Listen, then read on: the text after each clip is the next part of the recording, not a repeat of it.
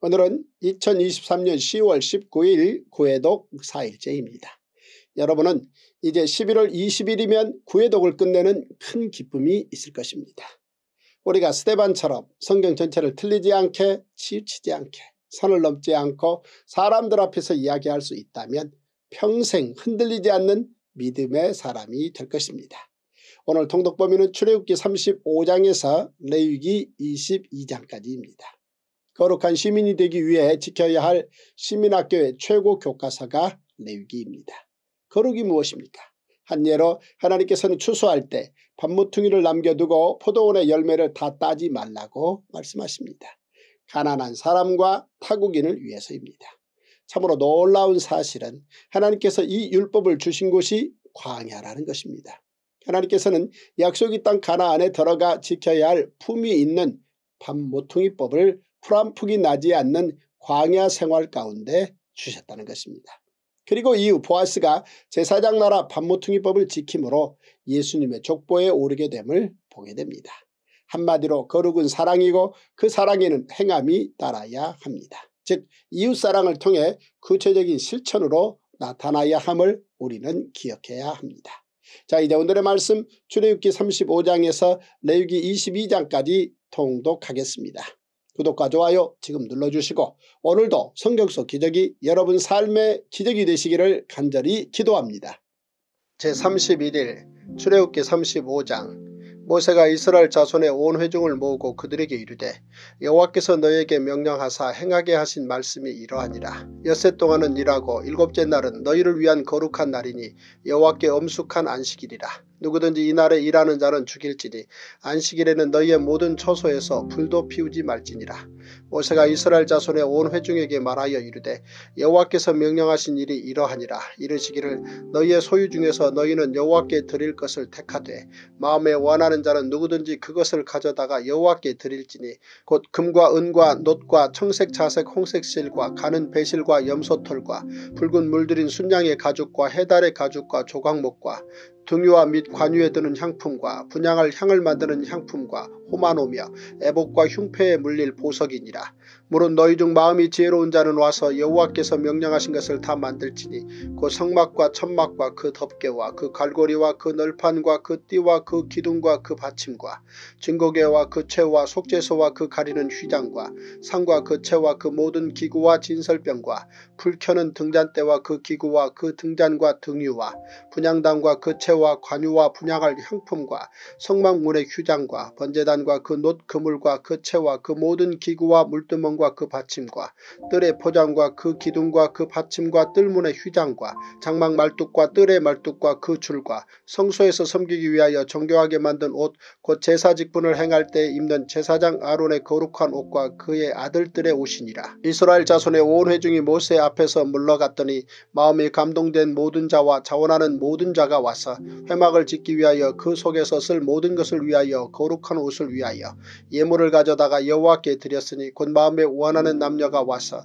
팔찌와 귀고리와 가락지와 목걸이와 여러가지 금품을 가져다가 사람마다 여호와께 금 예물을 드렸으며 무릇 청색 자색 홍색 실과 가는 배실과 염소털과 붉은 물들인 순양의 가죽과 해달의 가죽이 있는 자도 가져왔으며 은과 노소로 예물을 삼는 모든 자가 가져다가 여호와께 드렸으며 섬기는 일에 소용되는 조각목이 있는 모든 자는 가져왔으며 마음이 슬기로운 모든 여인은 손수 실을 빼고 그 뺀 청색 자색 홍색 실과 가는 배실을 가져왔으며 마음의 감동을 받아 슬기로운 모든 여인은 염소털로 실을 뽑았으며 모든 족장은 호마노와 및 에봇과 흉패에 물릴 보석을 가져왔으며 등불과 관유와 분양을 향해 소용되는 기름과 향품을 가져왔으니 마음에 자원하는 남녀는 누구나 여호와께서 모세의 손을 빌어 명령하신 모든 것을 만들기 위하여 물품을 드렸으니 이것이 이스라엘 자손이 여호와께 자원하여 드린 예물이니라. 모세가 이스라엘 자손에게 이르되 볼지어다 여호와께서 유다지파 훌의 손자 하여 우리의 아들인 부살레를 지명하여 부르시고 하나님의 영을 그에게 충만하게 하여 지혜와 총명과 지식으로 여러가지 일을 하게 하시되 금과 은과 노수로 제작하는 기술을 고안하게 하시며 보석을 깎아 물리며 나무를 새기는 여러가지 정교한 일을 하게 하셨고 또 그와 단지파 아이사막의 아들 오올리압을 감동시키사 가르치게 하시며 지혜로운 마음을 그들에게 충만하게 하사 여러가지 일을 하게 하시되 조각하는 일과 세공하는 일과 청색 자색 홍색 실과 가는 배실로 수놓는 일과 짜는 일과 그 외에 여러 가지 일을 하게 하시고 정교한 일을 고안하게 하셨느니라. 출애굽기 36장 부살렐과 오올리압과 민 마음이 지혜로운 사람 곧 여호와께서 지혜와 총명을 부으사 성소에 쓸 모든 일을 할 줄 알게 하신 자들은 모두 여호와께서 명령하신 대로 할 것이니라. 모세가 부살렐과 올리압과 민 마음이 지혜로운 사람 곧 그 마음에 여호와께로부터 지혜를 얻고 와서 그 일을 하려고 마음에 원하는 모든 자를 부르매 그들의 이스라엘 자손의 성소의 모든 것을 만들기 위하여 가져온 예물을 모세에게서 받으니라. 그러나 백성이 아침마다 자원하는 예물을 연하여 가져왔으므로 성소의 모든 일을 하는 지혜로운 자들이 각기 하는 일을 중지하고 와서 모세에게 말하여 이르되 백성이 너무 많이 가져오므로 여호와께서 명령하신 일에 쓰기에 남음이 있나이다. 모세가 명령을 내림에 그들이 진중에 공포하여 이르되 남녀를 막론하고 성소에 드릴 예물을 다시 만들지 말라 하며 백성이 가져오기를 그치니 있는 재료가 모든 일을 하기에 넉넉하여 남음이 있었더라. 일하는 사람 중에 마음이 지혜로운 모든 사람이 열폭 휘장으로 성막을 지었으니 곧 가늘게 꼰 배실과 청색 자색 홍색실로 그룹들을 무늬 놓아 짜서 지은 것이라. 매 폭의 길이는 28규빗 너비는 4규빗으로 각 폭의 장단을 갖게 하여 그 다섯 폭을 서로 연결하며 또 그 다섯 폭을 서로 연결하고 연결할 끝폭가에 청색 골을 만들며 다른 연결할 끝폭가에도 골을 만들되 그 연결할 한 폭에 고리 쉰개를 달고 다른 연결할 한 폭의 가에도 고리 쉰개를 달아 그 고들이 서로 대하게 하고 금 갈고리 쉰개를 만들어 그 갈고리로 두 휘장을 연결하여 한 막을 이루었더라. 그 성막을 덮는 막 곧 휘장을 염소톨로 만들 때 열한 폭을 만들었으니 각 폭의 길이는 서른 규빗 너비는 네 규빗으로 열한 폭의 장단을 갖게 하여 그 휘장 다섯 폭을 서로 연결하며 또 여섯 폭을 서로 연결하고 휘장을 연결할 끝폭가에 고리 쉰 개를 달며 다른 연결할 끝폭가에도 고리 쉰 개를 달고 놋갈고리 쉰개를 만들어 그 휘장을 연결하여 한 막이 되게 하고 붉은 물들인 순양의 가죽으로 막의 덮개를 만들고 해달의 가죽으로 그 윗덮개를 만들었더라. 그가 또 조각목으로 성막에 세울 널판들을 만들었으니 각 판의 길이는 10규빗 너비는 한 규빗 반이며 각 판에 두 촉이 있어 서로 연결하게 하였으니 성막의 모든 판이 그러하며 성막을 위하여 널판을 만들었을 때 나무로는 남쪽에 널판이 20개라. 그 20개 널판 밑에 은받침 40개를 만들었을 때 곧 이 널판 밑에 도 두 받침이 그 두 촉을 받게 하였고 저 널판 밑에도 두 받침이 그 두 촉을 받게 하였으며 성막 다른 쪽 곧 북쪽을 위하여도 널판 20개를 만들고 또 은받침 40개를 만들었으니 곧 이 판 밑에도 받침이 둘이요 저 판 밑에도 받침이 둘이며 장막 뒤 곧 서쪽을 위하여는 널판 6개를 만들었고 장막 뒤 두 모퉁이 편을 위하여는 널판 2개를 만들되 아래에서부터 위까지 각기 두 겹 두께로 하여 윗꼬리에 이르게 하고 두 모퉁이 쪽을 다 그리하며 그 널판은 8개요 그 받침은 은받침 16개라 각 널판 밑에 두 개씩이었더라. 그가 또 조각목으로 띠를 만들었으니 그 성막 이쪽 널판을 위하여 다섯 개요 성막 저쪽 널판을 위하여 다섯 개요 성막 뒤곧 서쪽 널판을 위하여 다섯 개며 그 중간 띠를 만들 때 널판 중간 이 끝에서 저 끝에 미치게 하였으며 그 널판들을 금으로 싸고 그 널판에 띠를 꿰 금고리를 만들고 그 띠도 금으로 쌌더라. 그가 또 청색 자색 홍색 실과 가늘게 꼰 배실로 휘장을 짜고 그 위에 그룹들을 정교하게 수놓고 조각목으로 네 기둥을 만들어 금으로 쌌으며 그 갈고리는 금으로 기둥의 네 받침은 은으로 부어 만들었으며 청색 자색 홍색 실과 가늘게 꼰 배실로 수노와 장막문을 위하여 휘장을 만들고 휘장문의 기둥 다섯과 그 갈고리를 만들고 기둥 머리와 그 가름대를 금으로 쌌으며 그 다섯 받침은 노시였더라. 출애굽기 37장. 부살렐이 조각목으로 궤를 만들었으니 길이가 두 규빗 반 너비가 한 규빗 반 높이가 한 규빗 반이며 순금으로 안팎을 싸고 위쪽 가장자리로 돌아가며 금태를 만들었으며 금고리 넷을 부어 만들어 네 발에 달았으니 곧 이쪽에 두 고리여 저쪽에 두 고리이며 조각목으로 채를 만들어 금으로 싸고 그 채를 궤 양쪽 고리에 꿰어 궤를 매게 하였으며 순금으로 속죄소를 만들었으니 길이가 두 규빗 반 너비가 한 규빗 반이며 금으로 그룹 둘을 속죄소 양쪽에 쳐서 만들었으되 한 그룹은 이쪽 끝에 한 그룹은 저쪽 끝에 곧 속죄소와 한 덩이로 그 양쪽에 만들었으니 그룹들이 그 날개를 높이 펴서 그 날개로 속죄소를 덮었으며 그 얼굴은 서로 대하여 속죄소를 향하였더라.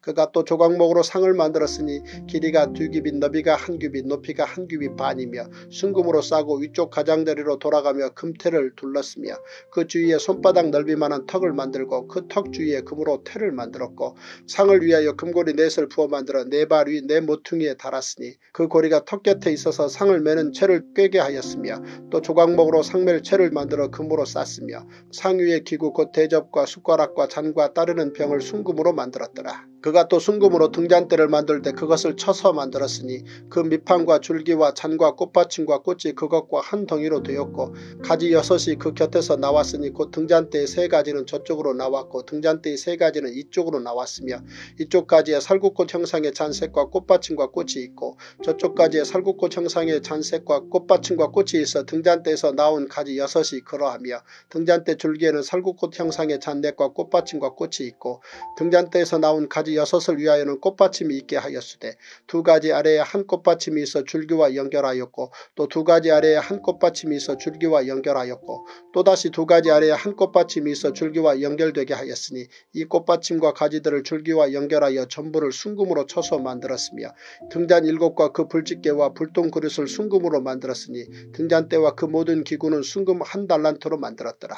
그가 또 조각목으로 분양할 재단을 만들었으니 길이는 한 규빗이요 너비도 한 규빗이 규빗이라 네모가 반듯하고 높이는 두 규빗이며 그 뿔들이 재단과 연결되었으며 재단 상면과 전후 좌우면과 그 뿔을 순금으로 싸고 주위에 금태를 둘렀고 그태 아래 양쪽에 금고리 둘을 만들었을 때 곧 그 양쪽에 만들어 재단을 매는 채를 꿰게 하였으며 조각목으로 그 채를 만들어 금으로 쌌으며 거룩한 관유와 향품으로 정결한 향을 만들었을 때 향을 만드는 법대로 하였더라.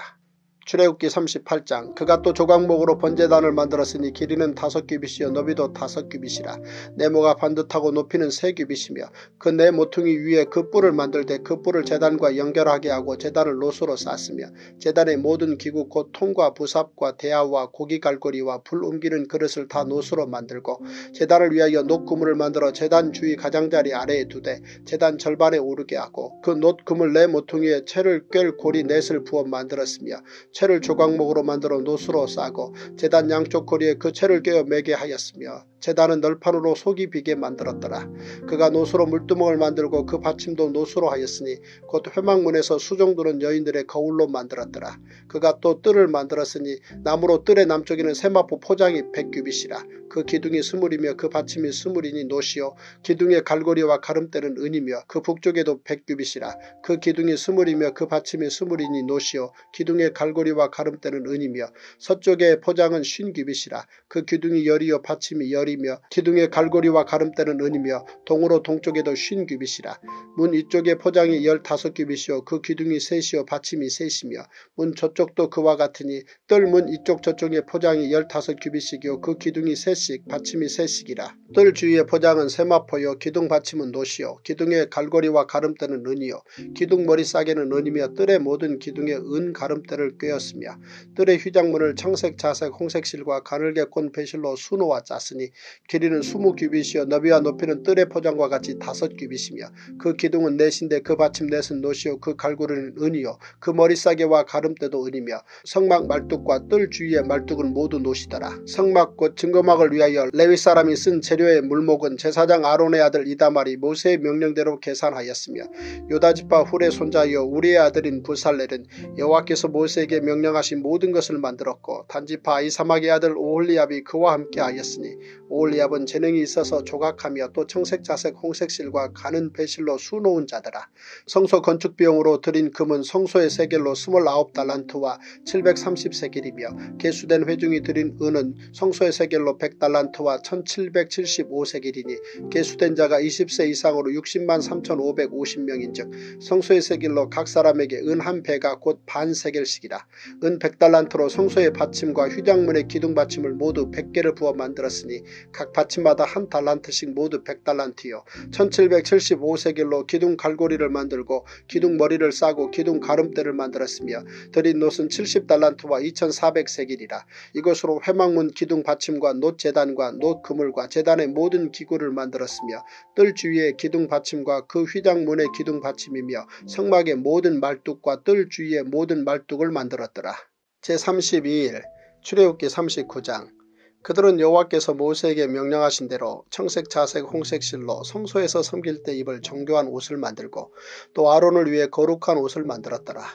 그는 또 금실과 청색 자색 홍색 실과 가늘게 꾼 배실로 에봇을 만들었으되 금을 얇게 쳐서 오려서 실을 만들어 청색 자색 홍색 실과 가는 배실에 섞어 정교하게 짜고 에봇에는 어깨바지를 만들어 그 두 끝에 달아 서로 연결되게 하고 에봇 위에 에봇을 매는 띠를 에봇과 같은 모양으로 금실과 청색 자색 홍색 실과 가늘게 꾼 배실로 에봇에 붙여 짰으니 여호와께서 모세에게 명령하신 대로 하였더라. 그들은 또 호마노를 깎아 금태에 물려 도장을 새김같이 이스라엘의 아들들의 이름을 그것에 새겨 에봇 어깨바지에 달아 이스라엘의 아들들을 기념하는 보석을 삼았으니 여호와께서 모세에게 명령하신 대로 하였더라. 그가 또 흉패를 정교하게 짜되 에봇과 같은 모양으로 금실과 청색 자색 홍색 실과 가늘게 꼰 배실로 하였으니 그것의 길이가 한 뼘 너비가 한 뼘으로 네모가 반듯하고 두 겹이며 그것에 네 줄 보석을 물렸으니 곧 홍보석 황옥 녹주옥이 첫 줄이요 둘째 줄은 성류성 남보석 홍만호요 셋째 줄은 호박 백만호 자수정이요 넷째 줄은 녹보석 호만호 벽옥이라 다 금태에 물렸으니 이 보석들은 이스라엘의 아들들의 이름 곧 그들의 이름대로 열둘이라. 도장을 새김같이 그 열두 지파에 각 이름을 새겼으며 그들이 또 순금으로 노끈처럼 사슬을 땋아 흉패에 붙이고 또 금테 둘과 금고리 둘을 만들어 그 두 고리를 흉패 두 끝에 달고 그 땋은 두 금사슬을 흉패 끝 두 고리에 꿰매었으며 그 땋은 두 사슬의 다른 두 끝을 에봇 앞 두 어깨받이의 금테에 매고 또 금고리 둘을 만들어 흉패 두 끝에 달았으니 곧 그 에봇을 마주한 안쪽 가장자리에 달았으며 또 금고리 둘을 만들어 에봇 앞 두 어깨받이 아래 매는 자리 가까운 쪽 곧 정교하게 짠 에봇띠 위쪽에 달고 청색 끈으로 흉패고리와 에봇고리에 꿰어 흉패로 정교하게 짠 에봇띠 위에 붙여서 에봇에서 벗어지지 않게 하였으니 여호와께서 모세에게 명령하신 대로 하였더라. 그가 에봇 받침 긴 옷을 전부 청색으로 짜서 만들되 그 옷의 두 어깨 사이에 구멍을 내고 갑옷깃같이 그 구멍 주위에 깃을 짜서 찢어지지 않게 하고 청색 자색 홍색 실과 가는 배실로 그 옷 가장자리에 석류를 수놓고 순금으로 방울을 만들어 그 옷 가장자리로 돌아가며 석류 사이사이에 달되 방울과 석류를 서로 간격을 두고 번갈아 그 옷 가장자리로 돌아가며 달았으니 여호와께서 모세에게 명령하신 대로 하였더라. 그들이 또 직조한 가는 배로 아론과 그의 아들들을 위하여 속옷을 짓고 세마포로 두고를 짓고 세마포로 빛난 관을 만들고 가는 배 실로 짜서 세마포 속바지틀을 만들고 가는 배실과 청색 자색 홍색 실로 수노와 띠를 만들었으니 여호와께서 모세에게 명령하신 대로 하였더라. 그들이 또 순금으로 거룩한 패를 만들고 도장을 새김같이 그 위에 여호와께 성결이라 새기고 그 패를 청색 그루로 관 전면에 달았으니 여호와께서 모세에게 명령하신 대로 하였더라.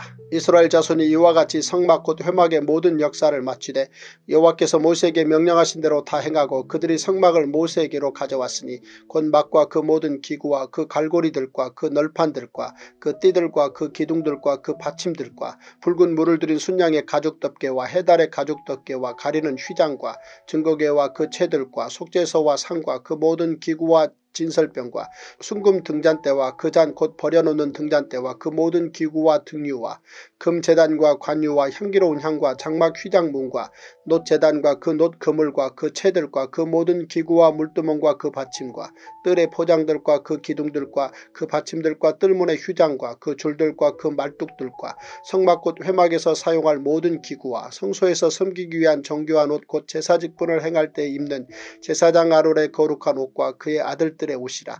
여호와께서 모세에게 명령하신 대로 이스라엘 자손이 모든 역사를 마침에 모세가 그 마침 모든 것을 본즉 여호와께서 명령하신 대로 되었으므로 모세가 그들에게 축복하였더라. 출애굽기 40장. 여호와께서 모세에게 말씀하여 이르시되 너는 첫째 달 초하루에 성막곧 회막을 세우고 또 증거궤를 들여놓고 또 휘장으로 그 궤를 가리고 또 상을 들여놓고 그 위에 물품을 진설하고 등잔대를 들여놓아 불을 켜고 또 금향단을 증거궤 앞에 두고 성막문에 휘장을 달고 또 번제단을 회막의 성막문 앞에 놓고 또 물두멍을 회막과 제단 사이에 놓고 그 속에 물을 담고 또 뜰 주위에 포장을 치고 뜰 문에 휘장을 달고 또 관유를 가져다가 성막 성막과 그 안에 있는 모든 것에 발라 그곳과 그 모든 기구를 거룩하게 하라. 그것이 거룩하리라. 너는 또 번제단과 그 모든 기구에 발라 그 안을 거룩하게 하라. 그 제단이 지극히 거룩하리라. 너는 또 물두멍과 그 받침에 발라 거룩하게 하고 너는 또 아론과 그 아들들을 회막문으로 데려다가 물로 씻기고 아론에게 거룩한 옷을 입히고 그에게 기름을 부어 거룩하게 하여 그가 내게 제사장의 직분을 행하게 하라. 너는 또 그 아들들을 데려다가 그들에게 겉옷을 입히고 그 아버지에게 기름을 부음같이 그들에게도 부어서 그들이 내게 제사장의 직분을 행하게 하라. 그들이 기름 부음을 받았은즉 대대로 영영이 제사장이 되리라 하시매 모세가 그같이 행하되 곧 여호와께서 자기에게 명령하신 대로 다 행하였더라. 둘째의 첫째 달 곧 그 달 초하루에 성막을 세우니라. 모세가 성막을 세우되 그 받침들을 놓고 그 널판들을 세우고 그 띠를 띄우고 그 기둥들을 세우고 또 성막 위에 막을 펴고 그 위에 덮개를 덮으니 여호와께서 모세에게 명령하신 대로 되니라. 그는 또 증거판을 궤 속에 놓고 채를 궤에 꿰고 속죄소를 궤 위에 두고 또 그 궤를 성막에 들여놓고 가리개 휘장을 늘어뜨려 그 증거궤를 가리니 여호와께서 모세에게 명령하신 대로 되니라. 그는 또 회막 안곧 성막 북쪽으로 휘장 밖에 상을 놓고 또 여호와 앞 그 상 위에 떡을 진설하니 여호와께서 모세에게 명령하신 대로 되니라. 그는 또 회막 안곧 성막 남쪽에 등잔대를 놓아 상과 마주하게 하고 또 여호와 앞에 등잔대에 불을 켜니 여호와께서 모세에게 명령하신 대로 되니라. 그가 또 금향단을 회막 안 휘장 앞에 두고 그 위에 향기로운 향을 사르니 여호와께서 모세에게 명령하신 대로 되니라. 그는 또 성막문에 휘장을 달고 또 회막의 성막문 앞에 번제단을 두고 번제와 소제를 그 위에 드리니 여호와께서 모세에게 명령하신 대로 되니라. 그는 또 물두멍을 회막과 제단 사이에 두고 거기 씻을 물을 담으니라. 모세와 아론과 그 아들들이 거기서 수족을 씻되 그들이 회막에 들어갈 때와 제단에 가까이 갈 때에 씻었으니 여호와께서 모세에게 명령하신 대로 되니라. 그는 또 성막과 제단 주위 뜰에 포장을 치고 뜰 문에 휘장을 다니라. 모세가 이같이 역사를 마치니 구름이 회막에 덮이고 여호와의 영광이 성막에 충만하며 모세가 회막에 들어갈 수 없었으니 이는 구름이 회막 위에 덮이고 여호와의 영광이 성막에 충만함이 었으며 구름이 성막 위에서 떠오를 때에는 이스라엘 자손이 그 모든 행진하는 길에 앞으로 나아갔고 구름이 떠오르지 않을 때에는 떠오르는 날까지 나아가지 아니하였으며 낮에는 여호와의 구름이 성막 위에 있고 밤에는 불이 그 구름 가운데 있음을 이스라엘의 온 족속이 그 모든 행진하는 길에서 그들의 눈으로 보았더라.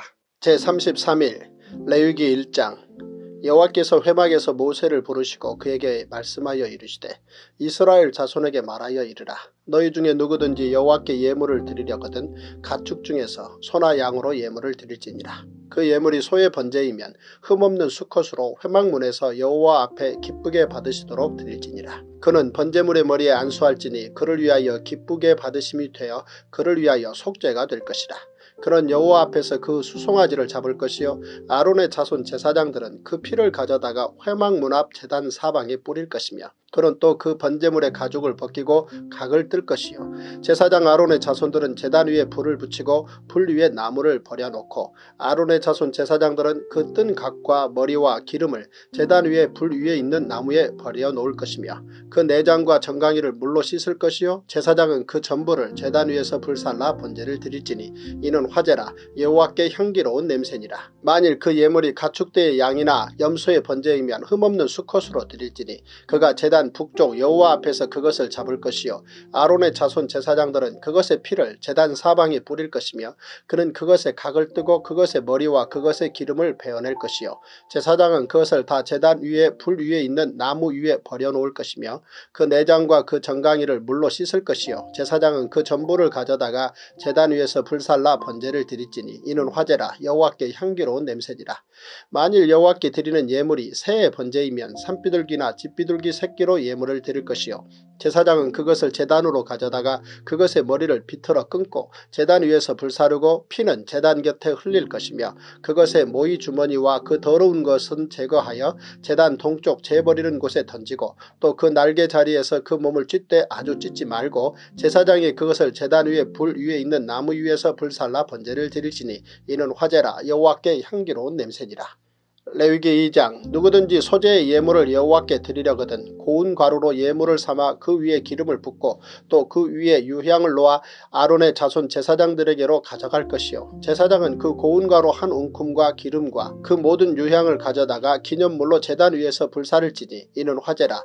여호와께 향기로운 냄새니라. 그 소재물에 남은 것은 아론과 그의 자손에게 돌릴지니 이는 여호와의 화재물 중에 지극히 거룩한 것이니라. 내가 화덕에 구운 것으로 소재의 예물 예물을 드리려거든 고운 가루에 기름을 섞어 만든 무교병이나 기름을 바른 무교 전병을 드릴 것이요. 철판에 붙인 것으로 소재의 예물을 드리려거든 고운 가루에 누룩을 넣지 말고 기름을 섞어 조각으로 나누고 그 위에 기름을 부을지니 이는 소재니라. 내가 냄비의 것으로 소재를 드리려거든 고운 가루와 기름을 섞어 만들지니라. 너는 이것들로 만든 소재물을 여호와께로 가져다가 제사장에게 줄 것이요. 제사장은 그것을 제단으로 가져가서 그 소재물 중에서 기념할 것을 가져다가 제단 위에서 불사를 지니 이는 화제라 여호와께 향기로운 냄새니라. 소재물에 남은 것은 아론과 그의 아들들에게 돌릴지니 이는 여호와의 화재물 중에 지극히 거룩한 것이니라. 너희가 여호와께 드리는 모든 소재물에는 누룩을 넣지 말지니 너희가 누룩이나 꿀을 여호와께 화재로 드려 사르지 못할지니라 처음 익은 것으로는 그것을 여호와께 드릴지나 향기로운 냄새를 위하여는 재단에 올리지 말지며 내 모든 소재물에 소금을 치라. 내 하나님의 언약의 소금을 내 소재에 빼지 못할지니 내 모든 예물에 소금을 드릴지니라. 너는 천 이삭의 소재를 여호와께 드리거든 천 이삭을 볶아 찌은 것으로 내 소재를 삼되 그 위에 기름을 붓고 그 위에 유향을 더할지니 이는 소재니라. 제사장은 찌은 곡식과 기름을 모든 유향과 함께 기념물로 불사를 지니 이는 여호와께 드리는 화제니라. 레위기 3장 사람이 만일 화목제의 제물을 예물로 드리되 소로 드리려면 수컷이나 암컷이나 흠없는 것으로 여호와 앞에 드릴지니 그 예물의 머리에 안수하고 회막문에서 잡을 것이요. 아론의 자손 제사장들은 그 피를 제단 사방에 뿌릴 것이며 그는 또 그 화목제의 제물 중에서 여호와께 화제를 드릴지니 곧 내장에 덮인 기름과 내장에 붙은 모든 기름과 두 콩팥과 그 위에 기름 곧 허리 쪽에 있는 것과 간에 덮인 꺼풀을 콩팥과 함께 떼어낼 것이요. 아론의 자손은 그것을 재단 위에 불 위에 있는 나무 위에 번제물 위에서 살일지니 이는 화제라 여호와께 향기로운 냄새니라. 만일 여호와께 예물로 드리는 화목제 제물이 양이면 수컷이나 암컷이나 흠없는 것으로 드릴지며 만일 그의 예물로 드리는 것이 어린 양이면 그것을 여호와 앞으로 끌어다가 그 예물의 머리에 안수하고 회막 앞에서 잡을 것이요. 아론의 자손은 그 피를 제단 사방에 뿌릴 것이며 그는 그 화목제의 제물 중에서 여호와께 화제를 드릴지니 그 기름 곧 미골에서 밴 기름진 꼬리와 내장에 덮인 기름과 내장에 붙은 모든 기름과 두 콩팥과 그 위에 기름 곧 허리 쪽에 있는 것과 간에 덮인 꺼풀을 콩팥과 함께 떼어낼 것이요 제사장은 그것을 제단 위에서 불사를 지니 이는 화제로 여호와께 드리는 음식이니라. 만일 그의 예물이 염소면 그것을 여호와 앞으로 끌어다가 그것의 머리에 안수하고 회막 앞에서 잡을 것이요 아론의 자손은 그 피를 제단 사방에 뿌릴 것이며 그는 그 중에서 예물을 가져다가 여호와께 화제를 드릴지니 곧 내장에 덮인 기름과 내장에 붙은 모든 기름과 두 콩팥과 그 위에 기름 곧 허리 쪽에 있는 것과 간에 덮인 꺼풀을 콩밥과 함께 떼어낼 것이요. 제사장은 그것을 재단 위에서 불사를 지니 이는 화재로 드리는 음식이요 향기로운 냄새라. 모든 기름은 여호와의 것이니라. 너희는 기름과 피를 먹지 말라. 이는 너희의 모든 처소에서 너희 대대로 지킬 영원한 규례니라. 레위기 4장 여호와께서 모세에게 말씀하여 이르시되 이스라엘 자손에게 말하여 이르라. 누구든지 여호와의 계명 중 하나라도 그릇 범하였으되 만일 기름 부음을 받은 제사장이 범죄하여 백성의 허물이 되었으면 그가 범한 죄로 말미암아 흠없는 수송아지로 속죄제물을 삼아 여호와께 드릴지니 그 수송아지를 회막문 여호와 앞으로 끌어다가 그 수송아지의 머리에 안수하고 그것을 여호와 앞에서 잡을 것이요. 기름 부음을 받은 제사장은 그 수송아지의 피를 가지고 회막에 들어가서 그 제사장이 손가락에 그 피를 찍어 여호와 앞 곧 성소의 휘장 앞에 일곱 번 뿌릴 것이며 제사장은 또 그 피를 여호와 앞 곧 회막 안 향단 뿔들에 바르고 그 수송아지의 피 전부를 회막 문 앞 번제단 밑에 쏟을 것이며 또 그 속죄 제물이 된 수송아지의 모든 기름을 떼어낼지니 곧 내장에 덮인 기름과 내장에 붙은 모든 기름과 두 콩팥과 그 위에 기름 곧 허리 쪽에 있는 것과 간에 덮인 꺼풀을 콩팥과 함께 떼어내되 화목제 제물의 소에게서 떼어냄 같이 할 것이요 제사장은 그것을 번제단 위에서 불사를 것이며 그 수송아지의 가죽과 그 모든 고기와 그것의 머리와 정강이와 내장과 똥 곧 그 송아지의 전체를 진영 바깥 재버리는 곳인 정결한 곳으로 가져다가 불로 나무 위에서 사르되 곧 재버리는 곳에서 불사를 지니라. 만일 이스라엘 온 회중이 여호와의 계명 중 하나라도 부지 중에 범하여 허물이 있으나 스스로 깨닫지 못하다가 그 범한 죄를 깨달으면 회중은 수송아지를 속죄제로 드릴지니 그것을 회막 앞으로 끌어다가 회중의 장로들이 여호와 앞에서 그 수송아지 머리에 안수하고 그것을 여호와 앞에서 잡을 것이요 기름 부음을 받은 제사장은 그 수송아지의 피를 가지고 회막에 들어가서 그 제사장의 손가락으로 그 피를 찍어 여호와 앞 휴장 앞에 일곱 번 뿌릴 것이며 또 그 피로 회막 안 여호와 앞에 있는 제단 뿔들에 바르고 그 피 전부는 회막 문 앞 번제단 밑에 쏟을 것이며 그것의 기름은 다 떼어 제단 위에서 불사르되 그 송아지를 속죄제의 수송아지에게 한 것 같이 할지며 제사장이 그곳으로 회중을 위하여 속죄한 즉 그들이 사함을 받으리라. 그는 그 수송아지를 진영 밖으로 가져다가 첫번 수송아지를 사름같이 불사를지니 이는 회중의 속죄제니라. 만일 족장이 그의 하나님 여호와의 계명 중 하나라도 부지 중에 범하여 허물이 있었는데 그가 범한 죄를 누가 그에게 깨우쳐 주면 그는 흠없는 순념소를 예물로 가져다가 그 순념소의 머리에 안수하고 여호와 앞 번제물을 잡는 곳에서 잡을지니 이는 속죄제라. 제사장은 그 속죄제물의 피를 손가락에 찍어 번제단 뿔들에 바르고 그 피는 번제단 밑에 쏟고 그 모든 기름은 화목제 제물의 기름같이 제단 위에서 불사를 지니 이같이 제사장이 그 범한 죄에 대하여 그를 위하여 속죄한 즉 그가 사함을 얻으리라. 만일 평민의 한 사람이 여호와의 계명 중 하나라도 부지 중에 범하여 허물이 있었는데 그가 범한 죄를 누가 그에게 깨우쳐 주면 그는 흠없는 암염소를 끌고 와서 그 범한 죄로 말미암아 그것을 예물로 삼아 그 속죄 제물의 머리에 안수하고 그 제물을 번제물을 잡는 곳에서 잡을 것이요 제사장은 손가락으로 그 피를 찍어 번제단 뿔들에 바르고 그 피 전부를 제단 밑에 쏟고 그 모든 기름을 화목제물의 기름을 떼어낸 것 같이 떼어내 제단 위에서 불살라 여호와께 향기롭게 할지니 제사장이 그를 위하여 속죄한 즉 그가 사함을 받으리라. 그가 만일 어린 양을 속죄제물로 가져오려거든 흠없는 암컷을 끌어다가 그 속죄제 제물의 머리에 안수하고 번제물을 잡는 곳에서 속죄제물로 잡을 것이요 제사장은 그 속죄제물의 피를 손가락으로 찍어 번제단 뿔들에 바르고 그 피는 전부 제단 밑에 쏟고 그 모든 기름을 화목제 어린 양의 기름을 떼는 것 같이 떼내어 제단 위 여호와의 화제물 위에서 불사를 지니 이같이 제사장이 그가 범한 죄에 대하여 그를 위하여 속죄한 즉 그가 사함을 받으리라. 레위기 5장 만일 누구든지 저주하는 소리를 듣고서도 증인이 되어 그가 본 것이나 알고 있는 것을 알리지 아니하면 그는 자기의 죄를 져야 할 것이요 그 허물이 그에게로 돌아갈 것이며 만일 누구든지 부정한 것들 곧 부정한 들짐승의 사체나 부정한 가축의 사체나 부정한 곤충의 사체를 만졌으면 부지중이라고 할지라도 그 몸이 더러워져서 허물이 있을 것이요. 만일 부지중이 어떤 사람의 부정에 닿았는데 그 사람의 부정이 어떠한 부정이든지 그것을 깨달았을 때에는 허물이 있을 것이요. 만일 누구든지 입술로 맹세하여 악한 일이든지 선한 일이든지 하리라고 함부로 말하면 그 사람이 함부로 말하여 맹세한 것이 무엇이든지 그가 깨닫지 못하다가 그것을 깨닫게 되었을 때에는 그 중 하나에 그에게 허물이 있을 것이니 이 중 하나에 허물이 있을 때에는 아무 일에 잘못하여 놀아 자복하고 그 잘못으로 말미암아 여호와께 속죄제를 드리되 양떼 암컷 어린 양이나 염소를 끌어다가 속죄제를 드릴 것이요. 제사장은 그의 허물을 위하여 속죄할지니라. 만일 그의 힘이 어린 양을 바치는 데 미치지 못하면 그가 지은 죄를 속죄하기 위하여 산비둘기 두 마리나 집비둘기 새끼 두 마리를 여호와께로 가져가되 하나는 속죄제물을 삼고 하나는 번제물을 삼아 제사장에게로 가져갈 것이요. 제사장은 그 속죄제물을 먼저 드리되 그 머리를 목에서 비틀어 끊고 몸은 아주 쪼개지 말며 그 속죄제물의 피를 제단 곁에 뿌리고 그 남은 피는 제단 밑에 흘릴지니 이는 속죄제요 그 다음 것은 규례대로 번제를 드릴지니 제사장이 그의 잘못을 위하여 속죄한 즉 그가 사함을 받으리라. 만일 그의 손이 산비둘기 두 마리나 집비둘기 두 마리에도 미치지 못하면 그의 범죄로 말미암아 고운 가루 10분의 1 에바를 예물로 가져다가 속죄제물로 드리되 이는 속죄제인즉 그 위에 기름을 붓지 말며 유향을 놓지 말고 그것을 제사장에게로 가져갈 것이요 제사장은 그것을 기념물로 한 웅큼을 가져다가 제단 위 여호와의 화제물 위에서 불사를 지니 이는 속죄제라. 제사장이 그가 이 중에서 하나를 범하여 얻은 허물을 위하여 속죄한 즉 그가 사함을 받으리라. 그 나머지는 소제물같이 제사장에게 돌릴지니라.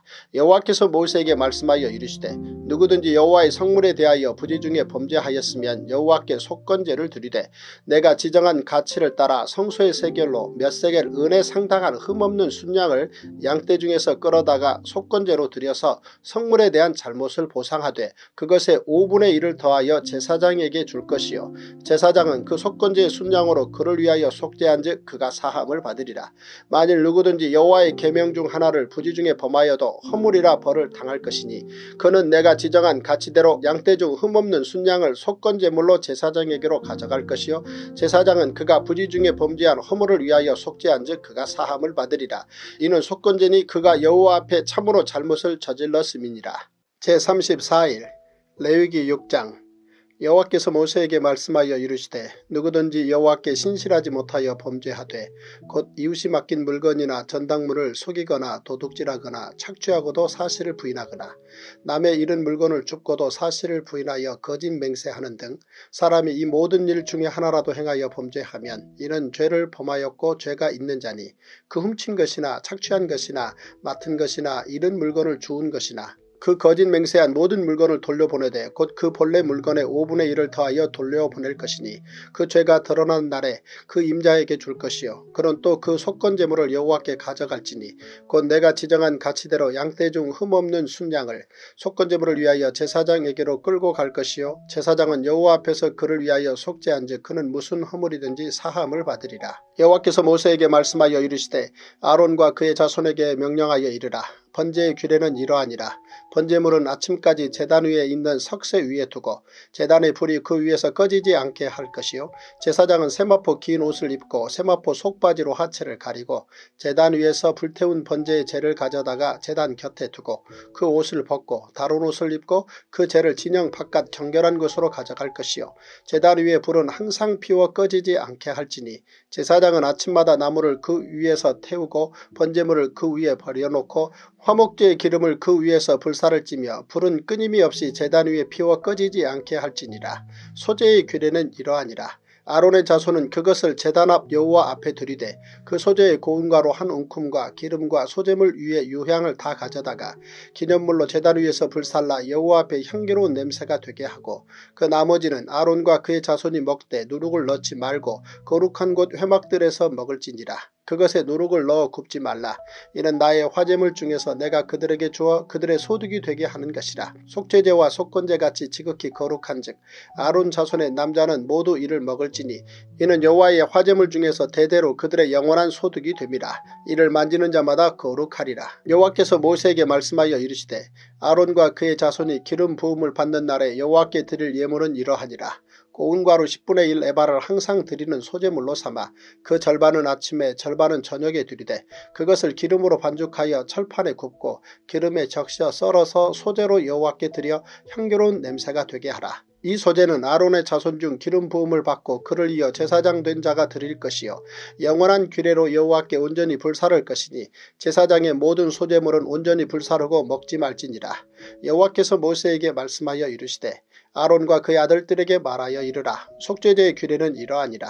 속죄제 제물은 지극히 거룩하니 여호와 앞 번제물을 잡는 곳에서 그 속죄제 제물을 잡을 것이요. 죄를 위하여 제사드리는 제사장이 그것을 먹되 곧 회막들 거룩한 곳에서 먹을 것이며 그 고기에 접촉하는 모든 자는 거룩할 것이며 그 피가 어떤 옷에든지 묻었으면 묻은 그것을 거룩한 곳에서 빨 것이요. 그 고기를 토기에 삶았으면 그 그릇을 깨뜨릴 것이요. 유기에 삶았으면 그 그릇 그것을 닦고 물에 씻을 것이며 제사장인 남자는 모두 그것을 먹을지니 그것은 지극히 거룩하니라. 그러나 피를 가지고 회막에 들어가 성소에서 속죄하게 한 속죄제 제물의 고기는 먹지 못할지니 불사를 지니라. 레위기 7장 속건제의 규례는 이러하니라. 이는 지극히 거룩하니 번제물을 잡는 곳에서 속건제의 번제물을 잡을 것이요 제사장은 그 피를 제단 사방에 뿌릴 것이며 그 기름을 모두 들이되 곧 그 기름진 꼬리와 내장에 덮인 기름과 두 콩팥과 그 위에 기름 곧 허리 쪽에 있는 것과 간에 덮인 꺼풀을 콩팥과 함께 떼어내고 제사장은 그것을 다 제단 위에서 불살라 여호와께 화제로 드릴 것이니 이는 속건제니라.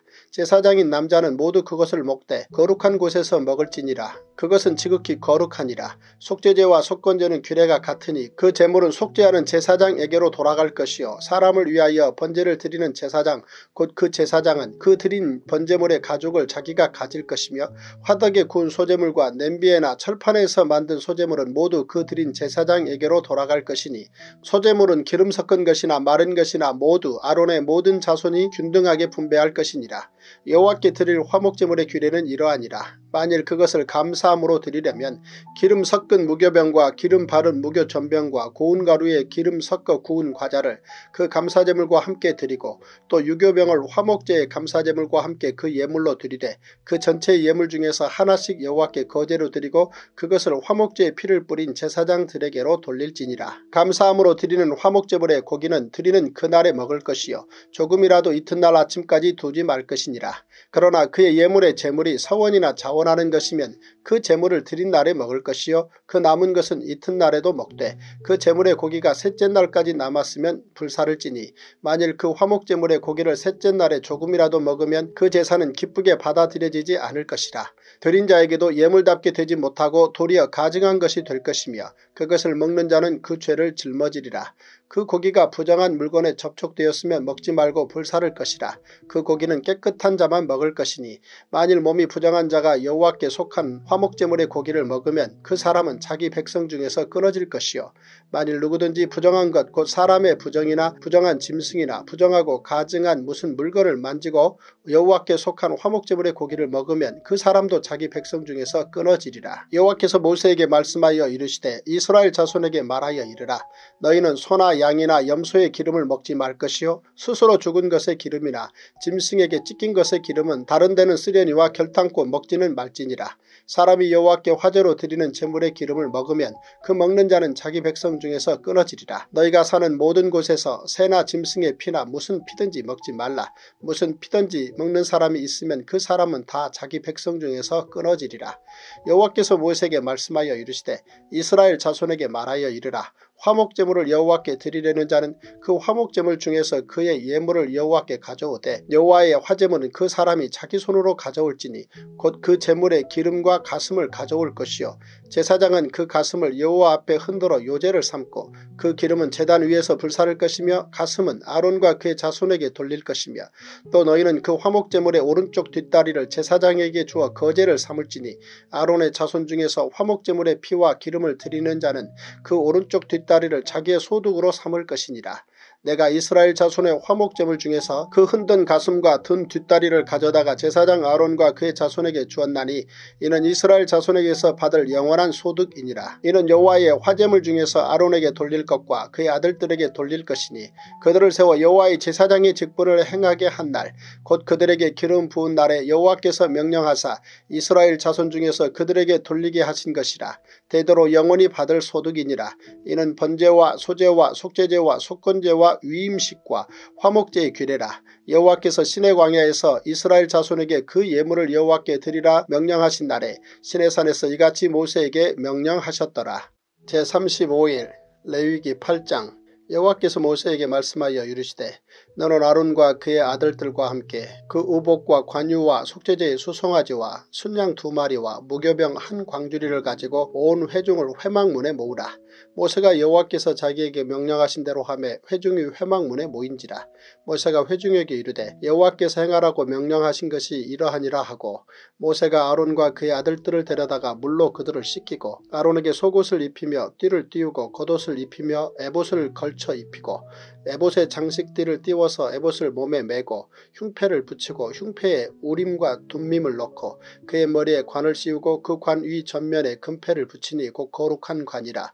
여호와께서 모세에게 명령하신 것과 같았더라. 모세가 관유를 가져다가 성막과 그 안에 있는 모든 것에 발라 거룩하게 하고 또 제단에 일곱 번 뿌리고 또그 제단과 그 모든 기구와 물두멍과 그 받침에 발라 거룩하게 하고 또 관유를 아론의 머리에 붓고 그에게 발라 거룩하게 하고 모세가 또 아론의 아들들을 데려다가 그들에게 속옷을 입히고 띠를 띄우며 관을 씌웠으니 여호와께서 모세에게 명령하신 것과 같았더라.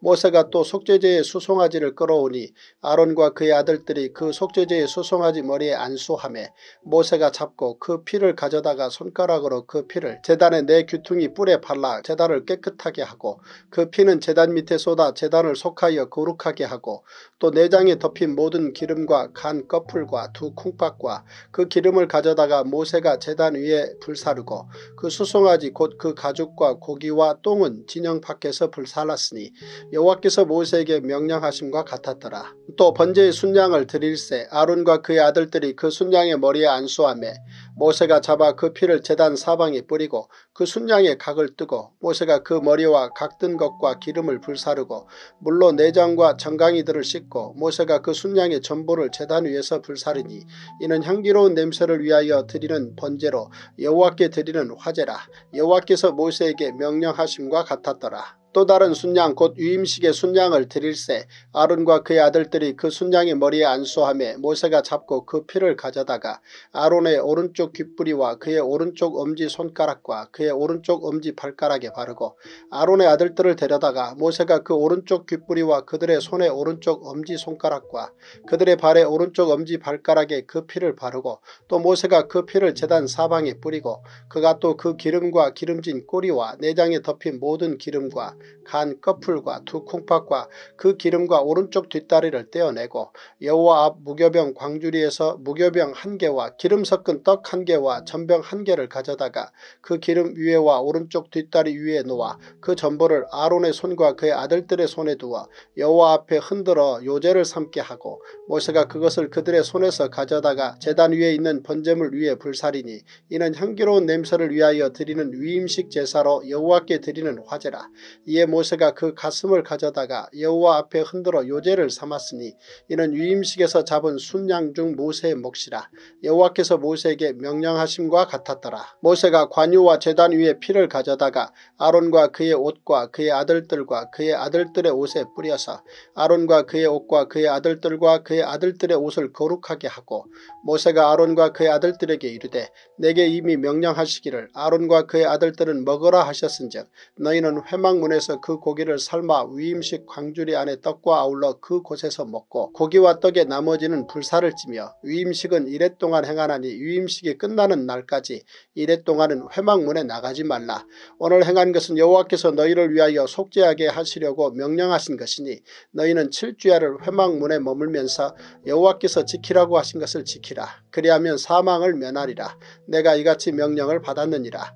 아론과 그의 아들들이 여호와께서 모세를 통하여 명령하신 모든 일을 준행하니라. 레위기 9장 여덟째 날에 모세가 아론과 그의 아들들과 이스라엘 장로들을 불러다가 아론에게 이르되 속죄제를 위하여 흠없는 송아지를 가져오고 번제를 위하여 흠없는 순양을 여호와 앞에 가져다 드리고 이스라엘 자손에게 말하여 이르기를 너희는 속죄제를 위하여 순념소를 가져오고 또 번제를 위하여 일년되고 흠없는 송아지와 어린 양을 가져오고 또 화목제를 위하여 여호와 앞에 드릴 수소와 순양을 가져오고 또 기름 섞은 소재물을 가져오라 하라. 오늘 여호와께서 너희에게 나타나실 것 임이니라 하매 그들이 모세가 명령한 모든 것을 회막 앞으로 가져오고 온 회중이 나와 여호와 앞에 선지라. 모세가 이르되 이는 여호와께서 너희에게 하라고 명령하신 것이니 여호와의 영광이 너희에게 나타나리라. 모세가 또 아론에게 이르되 너는 제단에 나아가 내 속죄제와 내 번제를 드려서 너를 위하여 백성을 위하여 속죄하고 또 백성의 예물을 드려서 그들을 위하여 속죄하되 여호와의 명령대로 하라. 이 아론이 제단에 나아가 자기를 위한 속죄제 송아지를 잡음에 아론의 아들들이 그 피를 아론에게 가져오니 아론이 손가락으로 그 피를 찍어 제단 뿔들에 바르고 그 피는 제단 밑에 쏟고 그 속죄제물의 기름과 콩팥과 간 꺼풀을 제단 위에서 불사리니 여호와께서 모세에게 명령하심과 같았고 그 고기와 가죽은 진영 밖에서 불사르니라. 아론이 또 번제물을 잡음에 아론의 아들들이 그 피를 그에게로 가져오니 그가 그 피를 재단 사방에 뿌리고 그들이 또 번제의 제물 곧 그의 각과 머리를 그에게로 가져오매 그가 재단 위에서 불사르고 또 내장과 정강이는 씻어서 단 위에 있는 번제물 위에서 불사르니라. 그가 또 백성의 예물을 드리되 곧 백성을 위한 속죄제의 염소를 가져다가 잡아 전과 같이 죄를 위하여 드리고 또 번제물을 드리되 규례대로 드리고 또 소재를 드리되 그 중에서 그의 손에 한 웅큼을 채워서 아침 번제물에 더하여 재단 위에서 불사르고 또 백성을 위하는 화목제물의 수소와 순양을 잡음에 아론의 아들들이 그 피를 그에게로 가져오니 그가 재단 사방에 뿌리고 그들이 또 수소와 순양의 기름과 기름진 꼬리와 내장에 덮인 것과 콩팥과 간 꺼풀을 아론에게로 가져다가 그 기름을 가슴들 위에 놓음에 아론이 그 기름을 재단 위에서 불사르고 가슴들과 오른쪽 뒷 뒷다리를 그가 여호와 앞에 요제로 흔드니 모세가 명령한 것과 같았더라. 아론이 백성을 향하여 손을 들어 축복함으로 속죄제와 번제와 화목제를 마치고 내려오니라. 모세와 아론이 회막에 들어갔다가 나와서 백성에게 축복하며 여호와의 영광이 온 백성에게 나타나며 불이 여호와 앞에서 나와 제단 위에 번제물과 기름을 사른지라 온 백성이 이를 보고 소리 지르며 엎드렸더라. 레위기 10장 아론의 아들 나답과 아비우가 각기 향로를 가져다가 여호와께서 명령하시지 아니하신 다른 불을 담아 여호와 앞에 분양하였더니 불이 여호와 앞에서 나와 그들을 삼킴에 그들이 여호와 앞에서 죽은지라. 모세가 아론에게 이르되 이는 여호와의 말씀이라 이르시기를 나는 나를 가까이 하는 자 중에서 내 거룩함을 나타내겠고 온 백성 앞에서 내 영광을 나타내리라 하셨느니라. 아론이 잠잠하니 모세가 아론의 삼촌 우시엘의 아들 미사엘과 엘사바를 불러 그들에게 이르되 나와 너희 형제들을 성소 앞에서 진영 밖으로 메고 나가라 하며 그들이 나와 모세가 말한 대로 그들을 옷 입은 채 진영 밖으로 메어내니 모세가 아론과 그의 아들 엘라살과 이다말에게 이르되 너희는 머리를 풀거나 옷을 찢지 말라. 그리하여 너희가 죽음을 면하고 여호와의 진노가 온 회중에게 미침을 면하게 하라. 오직 너희 형제 이스라엘 온 족속은 여호와께서 치신 불로 말미암아 슬퍼할 것이니라. 여호와의 관유가 너희에게 있은즉 너희는 회막문에 나가지 말라. 그리하면 죽음을 면하리라. 그들이 모세의 말대로 하니라. 여호와께서 아론에게 말씀하여 이르시되 너와 내 자손들이 회막에 들어갈 때에는 포도주나 독주를 마시지 말라. 그리하여 너희 죽음을 면하라.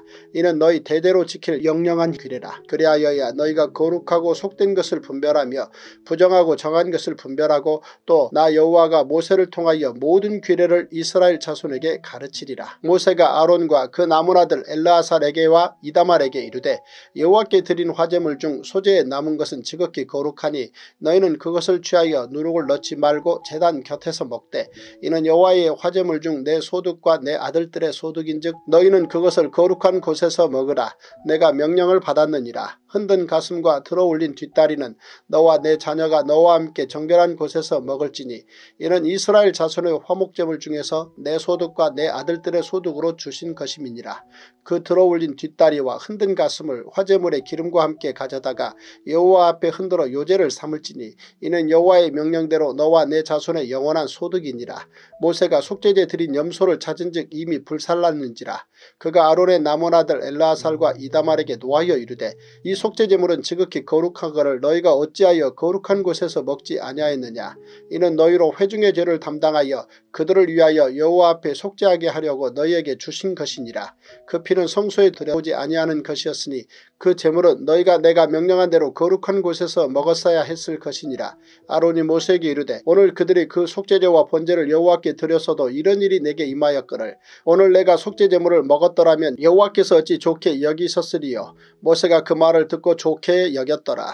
제36일 레위기 11장 여호와께서 모세와 아론에게 말씀하여 이르시되 이스라엘 자손에게 말하여 이르라. 육지의 모든 짐승 중 너희가 먹을 만한 생물은 이러하니 모든 짐승 중 굽이 갈라져 쪽발이 되고 새김질하는 것은 너희가 먹되 새김질하는 것이나 굽이 갈라진 짐승 중에도 너희가 먹지 못할 것은 이러하니 낙타는 새김질은 하되 굽이 갈라지지 아니하였으므로 너희에게 부정하고 사반도 새김질은 하되 굽이 갈라지지 아니하였으므로 너희에게 부정하고 토끼도 새김질은 하되 굽이 갈라지지 아니하였으므로 너희에게 부정하고 돼지는 굽이 갈라져 쪽발이로 돼 쇠김질을 못함으로 너희에게 부정하니 너희는 이러한 고기를 먹지 말고 그 죽음도 만지지 말라. 이것들은 너희에게 부정하니라. 물에 있는 모든 것 중에서 너희가 먹을 만한 것은 이것이니 강과 바다와 다른 물에 있는 모든 것 중에서 지느러미와 비늘 있는 것은 너희가 먹되 물에서 움직이는 모든 것과 물에서 사는 모든 것 곧 강과 바다에 있는 것으로서 지느러미와 비늘 없는 모든 것은 너희에게 가증한 것이라. 이들은 너희에게 가증한 것이니 너희는 그 고기를 먹지 말고 그 죽음을 가증히 여기라. 수중생물의 지느러미와 비늘 없는 것은 너희가 혐오할 것이니라. 새 중에 너희가 가증히 여길 것은 이것이라. 이것들이 가증한 즉 먹지 말지니 곧 독수리와 솔개와 물수리와 말똥가리와 말똥가리 종류와 까마귀 종류와 타조와 타흐마스와 갈매기와 새매 종류와 올빼미와 가마우지와 부엉이와 흰 올빼미와 사다새와 너새와 황새와 백로 종류와 오디새와 박쥐니라. 날개가 있고 네 발로 기어다니는 곤충은 너희가 혐오할 것이로되 다만 날개가 있고 네 발로 기어다니는 모든 곤충 중에 그 발에 뛰는 다리가 있어서 땅에서 뛰는 것은 너희가 먹을지니 곧 그 중에 메뚜기 종류와 배짱이 종류와 귀뚜라미 종류와 팥중이 종류는 너희가 먹으려니와 오직 날개가 있고 기어다니는 곤충은 다 너희가 혐오할 것이니라. 이런 것은 너희를 부정하게 하나니 누구든지 이것들의 죽음을 만지면 저녁까지 부정할 것이며 그 죽음을 옮기는 모든 자는 그 옷을 빨지니 저녁까지 부정하리라. 굽이 갈라진 모든 짐승 중에 쪽발이 아닌 것이나 책임질 아니하는 것의 죽음은 다 내게 부정하니 만지는 자는 부정할 것이요 네 발로 다니는 모든 짐승 중 발바닥으로 다니는 것은 다 내게 부정하니 그 죽음을 만지는 자는 저녁까지 부정할 것이며 그 죽음을 옮기는 자는 그 옷을 빨지니 저녁까지 부정하리라. 그것들이 내게 부정하니라. 땅에 기는 길짐승 중에 내게 부정한 것은 이러하니 곧 두더지와 쥐와 큰 도마뱀 종류와 도마뱀 부치와 육지악어와 도마뱀과 사막 도마뱀과 카멜레온이라. 모든 기는 것 중 이것들은 내게 부정하니 그 죽음을 만지는 모든 자는 저녁까지 부정할 것이며 이런 것 중 어떤 것의 죽음이 나무 그릇에든지 의복에든지 가죽에든지 자루에든지 무엇에 쓰는 그릇에든지 떨어지면 부정하여지리니 물에 담그라. 저녁까지 부정하다가 정할 것이며 그것 중 어떤 것이 어느 질그릇에 떨어지면 그 속에 있는 것이 다 부정하여 지나니 너는 그 그릇을 깨뜨리라. 먹을 만한 축축한 식물이 거기 담겼으면 부정하여질 것이요 그 같은 그릇에 담긴 마실 것도 부정할 것이며 이런 것의 죽음이 물건 위에 떨어지면 그것이 모두 부정하여지리니 화덕이든지 화로이든지 깨뜨려 버리라. 이것이 부정하여져서 너에게 부정한 것이 되리라. 샘물이나 물이 고인 웅덩이는 부정하여지지 아니하되 그 죽음에 닿는 것은 모두 부정하여질 것이요 이것들의 죽음이 심을 종자에 떨어지면 그것이 정하거니와 만일 종자에 물이 묻었을 때에 그것이 그 위에 떨어지면 너희에게 부정하리라. 너희가 먹을 만한 짐승이 죽은 때에 그 죽음을 만지는 자는 저녁까지 부정할 것이며 그것을 먹는 자는 그 옷을 빨 것이요 저녁까지 부정할 것이며 그 죽음을 옮기는 자도 그의 옷을 빨 것이요 저녁까지 부정하리라. 땅에 기어다니는 모든 길짐승은 가증한즉 먹지 못할지니 곧 땅에 기어다니는 모든 기는 것 중에 배로 밀어다니는 것이나 네 발로 걷는 것이나 여러 발을 가진 것이라. 너희가 먹지 말지니 이것들은 가증함이니라. 너희는 기는 바 기어다니는 것 때문에 자기를 가증하게 되게 하지 말며 또한 그것 때문에 스스로 더럽혀 부정하게 되게 하지 말라. 나는 여호와 너희의 하나님이라 내가 거룩하니 너희도 몸을 구별하여 거룩하게 하고 땅에 기는 길짐승으로 말미암아 스스로 더럽히지 말라. 나는 너희의 하나님이 되려고 너희를 애굽 땅에서 인도하여 낸 여호와라. 내가 거룩하니 너희도 거룩할지어다. 이는 짐승과 새와 물에서 움직이는 모든 생물과 땅에 기는 모든 길짐승에 대한 규례니 부정하고 정한 것과 먹을 생물과 먹지 못할 생물을 분별한 것이니라. 레위기 12장 여호와께서 모세에게 말씀하여 이르시되 이스라엘 자손에게 말하여 이르라. 여인이 임신하여 남자를 낳으면 그는 이래 동안 부정하리니 곧 월경할 때와 같이 부정할 것이며 여덟째 날에는 그 아이의 포피를 뵐 것이요 그 여인은 아직도 33일을 지내야 사늘이 깨끗하리니 정결하게 되는 기한이 차기 전에는 성물을 만지지도 말며 성소에 들어가지도 말 것이며 여자를 낳으면 그는 두 일에 동안 부정하리니 월경할 때와 같을 것이며 사늘이 깨끗하게 되면 66일을 지내야 하리라. 아들이나 딸이나 정결하게 되는 기한이 차면 그 여인은 번제를 위하여 1년 된 어린 양을 가져가고 속죄제를 위하여 찌비둘기 새끼나 산비둘기를 회막문 제사장에게로 가져갈 것이요 제사장은 그것을 여호와 앞에 들여서 그 여인을 위하여 속죄할지니 그리하면 사녀리 깨끗하리라. 이는 아들이나 딸을 생산한 여인에게 대한 규례니라. 그 여인이 어린 양을 바치기에 힘이 미치지 못하면 산비둘기 두 마리나 집비둘기 새끼 두 마리를 가져다가 하나는 번제물로 하나는 속죄제물로 삼을 것이요 제사장은 그를 위하여 속죄할지니 그가 정결하리라. 레위기 13장 여호와께서 모세와 아론에게 말씀하여 이르시되 만일 사람이 그의 피부에 무엇이 돋거나 뾰루지가 나거나 색점이 생겨서 그의 피부에 나병 같은 것이 생기거든 그를 곧 제사장 아론에게나 그의 아들 중 한 제사장에게로 데리고 갈 것이요 제사장은 그 피부의 병을 진찰할지니 환부의 털이 휘어졌고 환부가 피부보다 우묵하여졌으면 이는 나병의 환부라. 제사장이 그를 진찰하여 그를 부정하다 할 것이요 피부에 색점이 희나 우묵하지 아니하고 그 털이 희지 아니하면 제사장은 그 환자를 이래 동안 가두어둘 것이며 이래 만에 제사장이 그를 진찰할지니 그가 보기에 그 환부가 변하지 아니하고 병색이 피부에 퍼지지 아니하였으면 제사장이 그를 또 이래 동안을 가두어둘 것이며 이래 만에 제사장이 또 진찰할지니 그 환부가 열버졌고 병색이 피부에 퍼지지 아니하였으면 피부병이라. 제사장이 그를 정하다 할 것이요 그의 옷을 빨 것이라. 그리하면 정하리라. 그러나 그가 정결한지를 제사장에게 보인 후에 병이 피부에 퍼지면 제사장에게 다시 보일 것이요 제사장은 진찰할지니 그 병이 피부에 퍼졌으면 그를 부정하다 할지니라 이는 나병임이니라. 사람에게 나병이 들었거든 그를 제사장에게로 데려갈 것이요 제사장은 진찰할지니 피부에 흰점이 돋고 털이 휘어지고 거기 생살이 생겼으면 이는 그의 피부에 오랜 나병이라.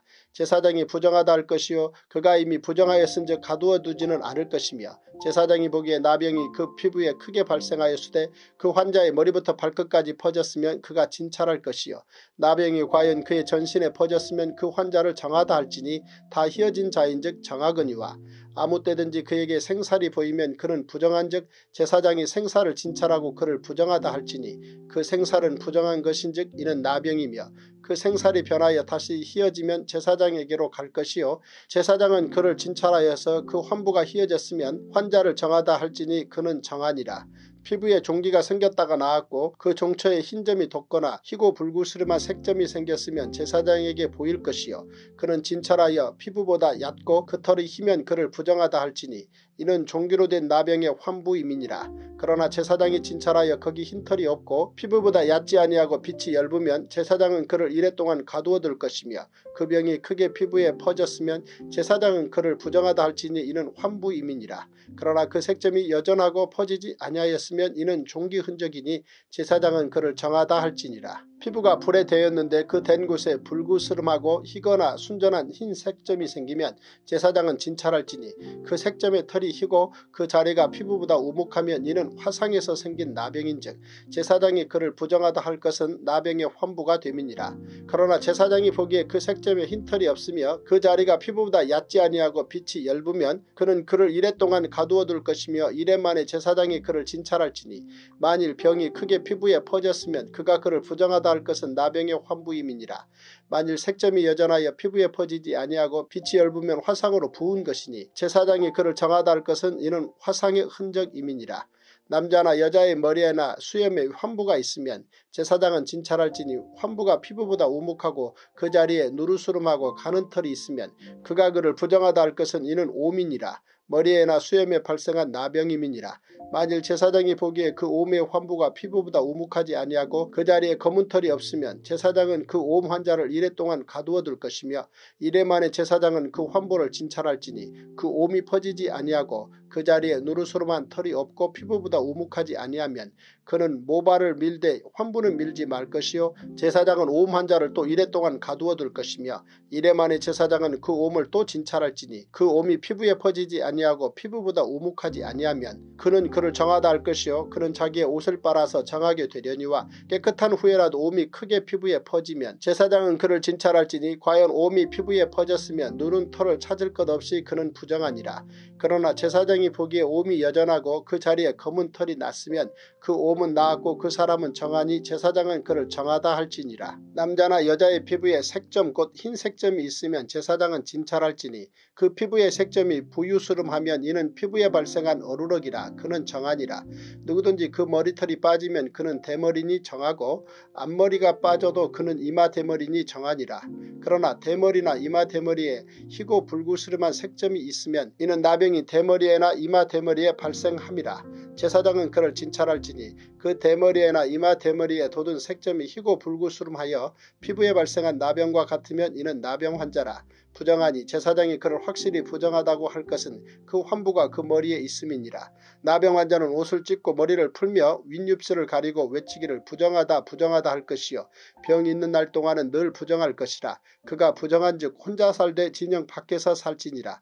만일 의복에 나병 색점이 발생하여 털옷에나 배옷에나 배나 털의 날에나 쓰에나 혹 가죽에나 가죽으로 만든 모든 것에 있으되 그 의복에나 가죽에나 그 날에나 쓰에나 가죽으로 만든 모든 것에 병색이 푸르거나 붉으면 이는 나병의 색점이라 제사장에게 보일 것이요 제사장은 그 색점을 진찰하고 그것을 이래 동안 간직하였다가 이래 만에 그 색점을 살필지니 그 색점이 그 의복에 나래나 씨에나 가죽에나 가죽으로 만든 것에 퍼졌으면 이는 악성나병이라 그것이 부정하므로 그는 그 색점 있는 의복이나 털이나 배의 날이나 씨나 모든 가죽으로 만든 것을 불사를지니 이는 악성 나병인즉 그것을 불사를지니라. 그러나 제사장이 보기에 그 색점이 그 의복의 날에나 씨에나 모든 가죽으로 만든 것에 퍼지지 아니하였으면 제사장은 명령하여 그 색점 있는 것을 빨게 하고 또 이랫동안 간직하였다가 그 빤 곳을 볼지니 그 색점의 빛이 변하지 아니하고 그 색점이 퍼지지 아니하였으면 부정하니 너는 그것을 불사르라. 이는 거죽에 있든지 속에 있든지 악성나병이니라. 빤 후에 제사장이 보기에 그 색점이 엷으면 그 의복에서나 가죽에서나 그 날에서나 씨에서나 그 색점을 찢어버릴 것이요 그 의복의 날에나 씨에나 가죽으로 만든 모든 것의 색점이 여전히 보이면 재발하는 것이니 너는 그 색점 있는 것을 불사를 지니라.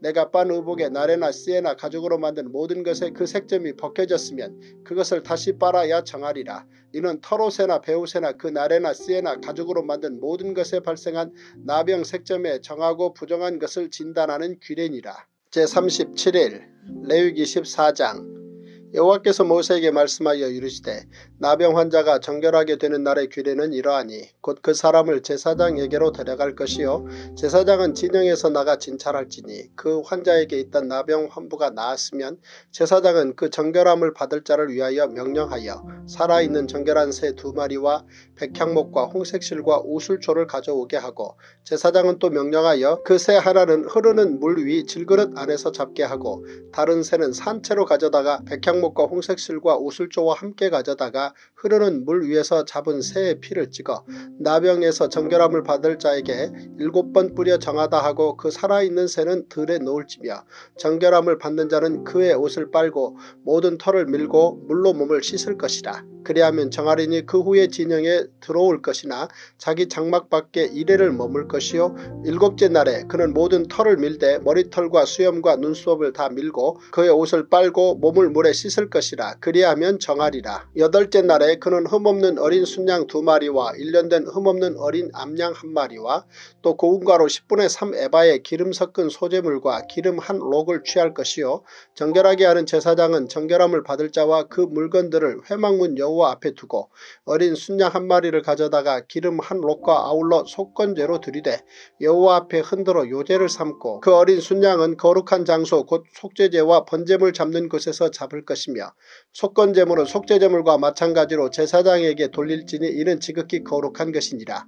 제사장은 그 속건제물의 피를 취하여 정결함을 받을 자의 오른쪽 귓뿌리와 오른쪽 엄지 손가락과 오른쪽 엄지 발가락에 바를 것이요 제사장은 또 그 한 록의 기름을 취하여 자기 왼쪽 손바닥에 따르고 오른쪽 손가락으로 왼쪽 손에 기름을 찍어 그 손가락으로 그것을 여호와 앞에 일곱 번 뿌릴 것이요 손에 남은 기름은 제사장이 정결함을 받을 자의 오른쪽 귓뿌리와 오른쪽 엄지 손가락과 오른쪽 엄지 발가락 곧 속건 제물의 피 위에 바를 것이며 아직도 그 손에 남은 기름은 제사장이 그 정결함을 받는 자의 머리에 바르고 제사장은 여호와 앞에서 그를 위하여 속죄하고 또 제사장은 속죄제를 드려 그 부정함으로 말미암아 정결함 사함을 받을 자를 위하여 속죄하고 그 후에 번제물을 잡을 것이요 제사장은 그 번제와 소제를 제단에 드려 그를 위하여 속죄할 것이라 그리하면 그가 정결하리라. 만일 그가 가난하여 그의 힘이 미치지 못하면 그는 흔들어 자기를 속죄할 속 건제를 위하여 어린 순양 한 마리와 소제를 위하여 고운 가루 10분의 1 에바에 기름 섞은 것과 기름 한 록을 취하고 그의 힘이 미치는 대로 산비둘기 둘이나 집비둘기 새끼 둘을 가져다가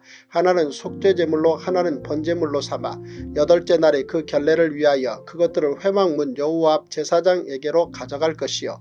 제사장은 속건제의 어린 양과 기름 한 록을 가져다가 여호와 앞에 흔들어 요제를 삼고 속건제의 어린 양을 잡아서 제사장은 그 속건제물 의 피를 가져다가 정결함을 받을 자의 오른쪽 귓뿌리와 오른쪽 엄지손가락과 오른쪽 엄지발가락에 바를 것이요. 제사장은 그 기름을 자기 왼쪽 손바닥에 따르고 오른쪽 손가락으로 왼쪽 손에 기름을 조금 찍어 여호와 앞에 일곱 번 뿌릴 것이요. 그 손의 기름은 제사장이 정결함을 받을 자의 오른쪽 귓부리와 오른쪽 엄지손가락과 오른쪽 엄지발가락 곧 속건제물의 피를 바른 곳에 바를 것이며 또 그 손에 남은 기름은 제사장이 그 정결함을 받는 자의 머리에 발라 여호와 앞에서 그를 위하여 속죄할 것이며 그는 힘이 미치는 대로 산비둘기 한 마리나 집비둘기 새끼 한 마리를 드리되 곧 그의 힘이 미치는 대로 한 마리는 속죄제로 한 마리는 소제와 함께 번제로 드릴 것이요 제사장은 정결함을 받을 자를 위하여 여호와 앞에 속죄할지니 나병 환자로서 그 정결 예식에 그의 힘이 미치지 못한 자의 규례가 그러하니라. 여호와께서 모세와 아론에게 말씀하여 이르시되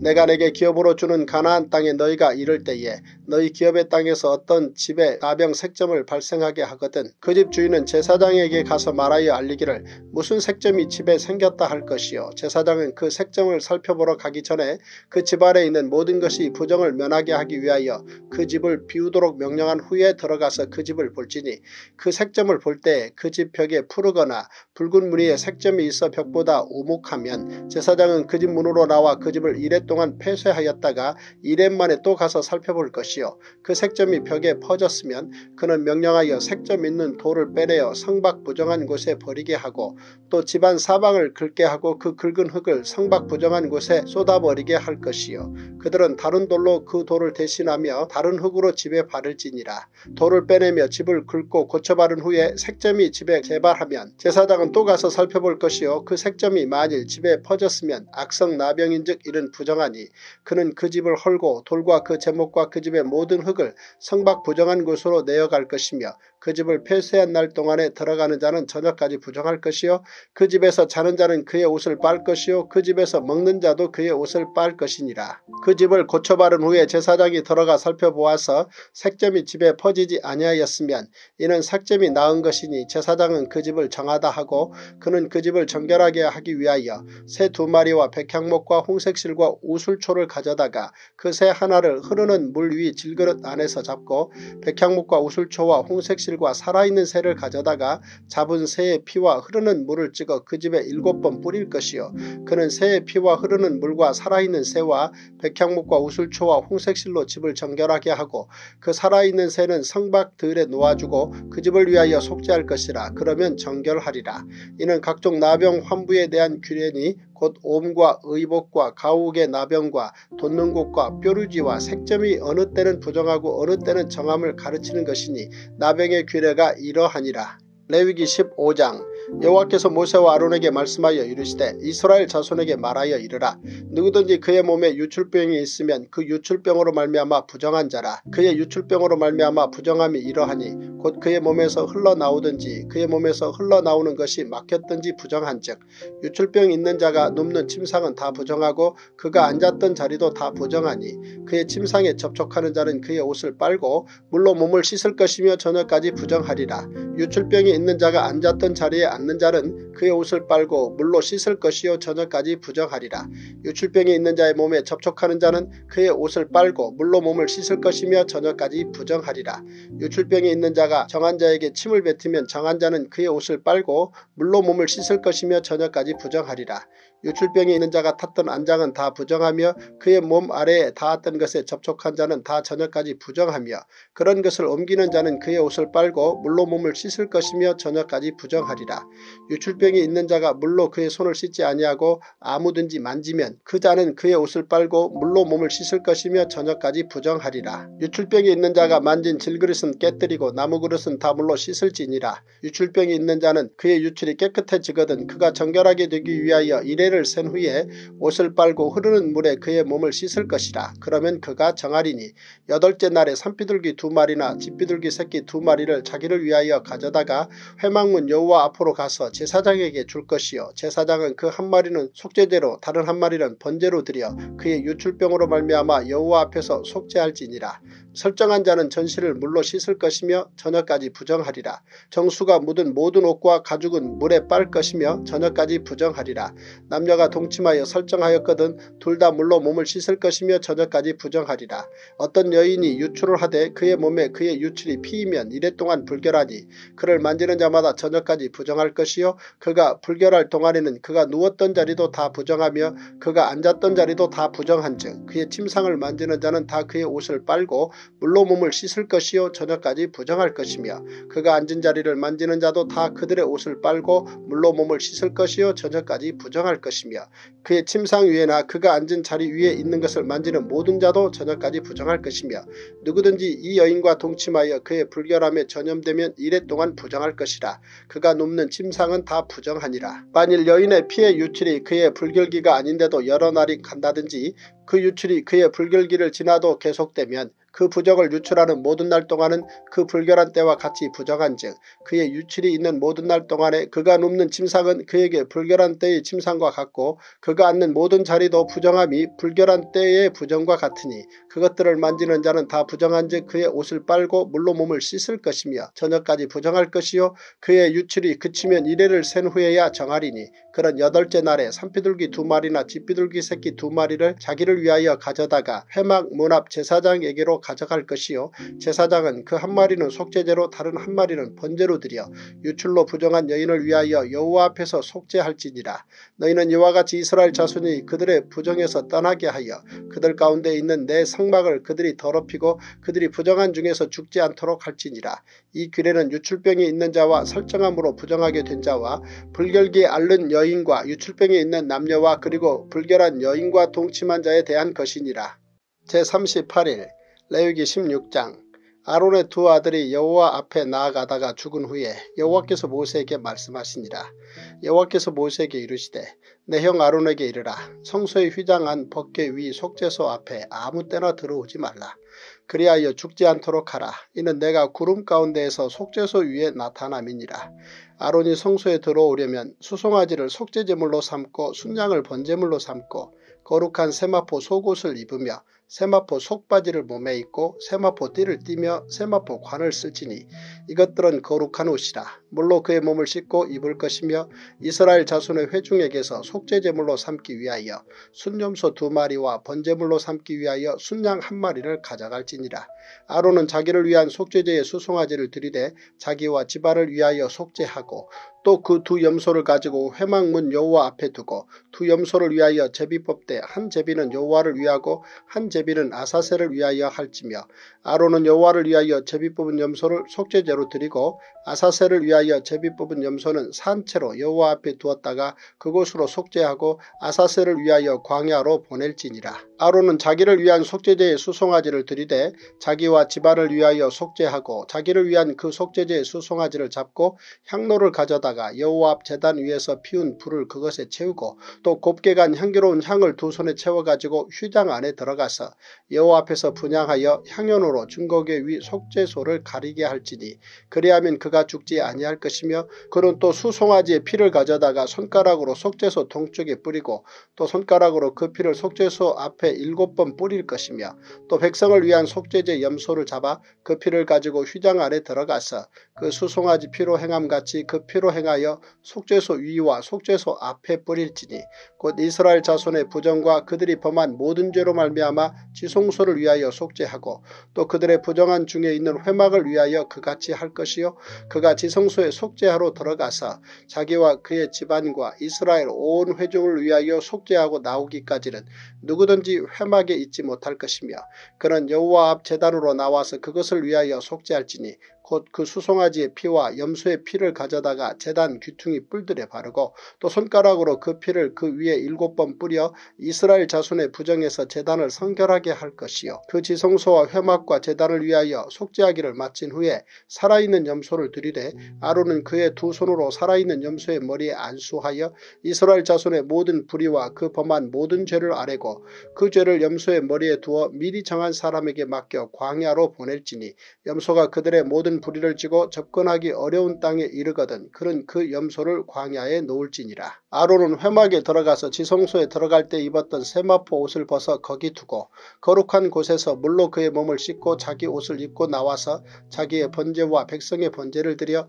자기와 백성을 위하여 속죄하고 속죄제물의 기름을 제단해서 불사를 것이요 염소를 아사살에게 보낸 자는 그의 옷을 빨고 물로 그의 몸을 씻은 후에 진영에 들어갈 것이며 속죄제 수송아지와 속죄제 염소의 피를 성소로 들여다가 속죄하였은즉 그 가죽과 고기와 똥을 밖으로 내다가 불사를 것이요 불사른 자는 그의 옷을 빨고 물로 그의 몸을 씻은 후에 진영에 들어갈지니라. 너희는 영원히 이 규례를 지킬지니라. 일곱째 달 곧 그 달 10일에 너희는 스스로 괴롭게 하고 아무 일도 하지 말되 본토인이든지 너희 중에 거류하는 거류민이든지 그리하라. 이날에 너희를 위하여 속죄하여 너희를 정결하게 하리니 너희의 모든 죄에서 너희가 여호와 앞에 정결하리라. 이는 너희에게 안식일 중에 안식일인즉 너희는 스스로 괴롭게 할지니 영원히 지킬 규례라. 기름 부음을 받고 위임되어 자기 아버지를 대신하여 제사장의 직분을 행하는 제사장은 속죄하되 세마포 옷 곧 거룩한 옷을 입고 지성소를 속죄하며 회막과 제단을 속죄하고 또 제사장들과 백성의 회중을 위하여 속죄할지니 이는 너희가 영원히 지킬 규례라. 이스라엘 자손의 모든 죄를 위하여 1년에 한 번 속죄할 것이니라.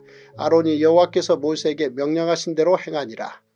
레위기 17장 여호와께서 모세에게 말씀하여 이르시되 아론과 그의 아들들과 이스라엘의 모든 자손에게 말하여 그들에게 이르기를 여호와의 명령이 이러하시다 하라. 이스라엘 집의 모든 사람이 소나 어린 양이나 염소를 진영 안에서 잡든지 진영 밖에서 잡든지 먼저 회막문으로 끌고 가서 여호와의 성막 앞에서 여호와께 예물로 드리지 아니하는 자는 피 흘린 자로 여길 것이라.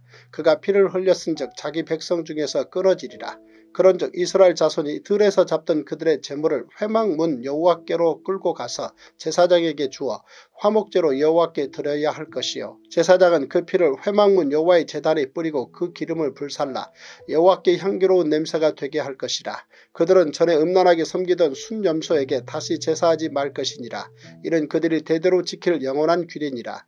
너는 또 그들에게 이르라. 이스라엘 집 사람이나 혹은 그들 중에 거류하는 거류민이 번제나 제물을 드리되 회막문으로 가져다가 여호와께 드리지 아니하면 그는 백성 중에서 끊어지리라. 이스라엘 집 사람이나 그들 중에 거류하는 거류민 중에 무슨 피든지 먹는 자가 있으면 내가 그 피를 먹는 그 사람에게는 내 얼굴을 대하여 그를 백성 중에서 끊으리니 육체의 생명은 피에 있습니다. 내가 이 피를 너희에게 주어 재단에 뿌려 너희의 생명을 위하여 속죄하게 하였나니 생명이 피에 있으므로 피가 죄를 속하느니라. 그러므로 내가 이스라엘 자손에게 말하기를 너희 중에 아무도 피를 먹지 말며 너희 중에 거류하는 거류민이라도 피를 먹지 말라 하였나니 모든 이스라엘 자손이나 그들 중에 거류하는 거류민이 먹을 만한 짐승이나 새를 사냥하여 잡거든 그것의 피를 흘리고 흙으로 덮을지니라. 모든 생물은 그 피가 생명과 일체라. 그러므로 내가 이스라엘 자손에게 이르기를 너희는 어떤 육체의 피든지 먹지 말라 하였나니 모든 육체의 생명은 그것의 피인즉 그 피를 먹는 모든 자는 끊어지리라. 또 스스로 죽은 것이나 들짐승에게 찢겨 죽은 것을 먹은 모든 자는 본토인이거나 거류민이거나 그의 옷을 빨고 물로 몸을 씻을 것이며 저녁까지 부정하고 그 후에는 정하려니와 그가 빨지 아니하거나 그의 몸을 물로 씻지 아니하면 그가 죄를 담당하리라. 제39일 레위기 18장 여호와께서 모세에게 말씀하여 이르시되 너는 이스라엘 자손에게 말하여 이르라. 나는 여호와 너희의 하나님이니라. 너희는 너희가 거주하던 애굽 땅의 풍속을 따르지 말며 내가 너희를 인도할 가나안 땅의 풍속과 규례도 행하지 말고 너희는 내 법도를 따르며 내 규례를 지켜 그대로 행하라. 나는 너희의 하나님 여호와이니라. 너희는 내 규례와 법도를 지키라. 사람이 이를 행하면 그로 말미암아 살리라. 나는 여호와이니라. 각 사람은 자기의 살부치를 가까이 하여 그의 하체를 범하지 말라. 나는 여호와이니라. 내 어머니의 하체는 곧 내 아버지의 하체이니 너는 범하지 말라. 그는 내 어머니인즉 너는 그의 하체를 범하지 말지니라. 너는 내 아버지의 아내의 하체를 범하지 말라. 이는 내 아버지의 하체니라. 너는 내 자매 곧내 아버지의 딸이나 내 어머니의 딸이나 집에서나 다른 곳에서 출생하였음을 막론하고 그들의 하체를 범하지 말지니라. 내 손녀나 내 외손녀의 하체를 범하지 말라. 이는 내 하체니라. 내 아버지의 아내가 내 아버지에게 낳은 딸은 내 누이니 너는 그의 하체를 범하지 말지니라. 너는 내 고모의 하체를 범하지 말라. 그는 내 아버지의 살부치니라. 너는 내 이모의 하체를 범하지 말라. 그는 내 어머니의 살부친이라. 너는 내 아버지 형제의 아내를 가까이하여 그의 하체를 범하지 말라. 그는 내 숙모니라. 너는 내 며느리의 하체를 범하지 말라. 그는 내 아들의 아내이니 그의 하체를 범하지 말지니라. 너는 내 형제의 아내의 하체를 범하지 말라. 이는 내 형제의 하체니라. 너는 여인과 그 여인의 딸의 하체를 아울러 범하지 말며 또 그 여인의 손녀나 외손녀를 아울러 데려다가 그의 하체를 범하지 말라. 그들은 그의 살부치이니 이는 악행이니라. 또는 아내가 생존할 동안에 그의 자매를 데려다가 그의 하체를 범하여 그로 질투하게 하지 말지니라. 너는 여인이 월경으로 불결한 동안에 그에게 가까이하여 그의 하체를 범하지 말지니라. 너는 내 이웃의 아내와 동침하여 설정함으로 그 여자와 함께 자기를 더럽히지 말지니라. 너는 결탄코 자녀를 몰렉에게 주어 불로 통과하게 하므로 내 하나님의 이름을 욕되게 하지 말라. 나는 여호와이니라. 너는 여자와 동침함 같이 남자와 동침하지 말라. 이는 가증한 일이니라. 너는 짐승과 교합하여 자기를 더럽히지 말며 여자는 짐승 앞에 서서 그것과 교접하지 말라. 이는 물란한 일이니라. 너희는 이 모든 일로 스스로 더럽히지 말라. 내가 너희 앞에서 쫓아내는 족속들이 이 모든 일로 말미암아 더러워졌고 그 땅도 더러워졌으므로 내가 그 악으로 말미암아 벌하고 그 땅도 스스로 그 주민을 토하여 내느니라. 그러므로 너희 곧 너희의 동족이나 혹은 너희 중에 거류하는 거류민 시민이나 내 규례와 내 법도를 지키고 이런 가증한 일에 하나라도 행하지 말라. 너희 전에 있던 그 땅 주민이 이 모든 가증한 일을 행하였고 그 땅도 더러워졌느니라. 너희도 더럽히면 그 땅이 너희가 있기 전 주민을 토함같이 너희를 토할까 하노라. 이 가증한 모든 일을 행하는 자는 그 백성 중에서 끊어지리라. 그러므로 너희는 내 명령을 지키고 너희가 들어가기 전에 행하던 가증한 풍속을 하나라도 따름으로 스스로 더럽히지 말라. 나는 너희의 하나님 여호와이니라. 레위기 19장 여호와께서 모세에게 말씀하여 이르시되 너는 이스라엘 자손의 온 회중에게 말하여 이르라. 너희는 거룩하라. 이는 나 여호와 너희 하나님이 거룩함이니라. 너희 각 사람은 부모를 경외하고 나의 안식일을 지키라. 나는 너희의 하나님 여호와이니라. 너희는 헛된 것들에게로 향하지 말며 너희를 위하여 신상들을 부어 만들지 말라. 나는 너희의 하나님 여호와이니라. 너희는 화목제물을 여호와께 드릴 때에 기쁘게 받으시도록 드리고 그 제물은 드리는 날과 이튿날에 먹고 셋째 날까지 남았거든 불사르라.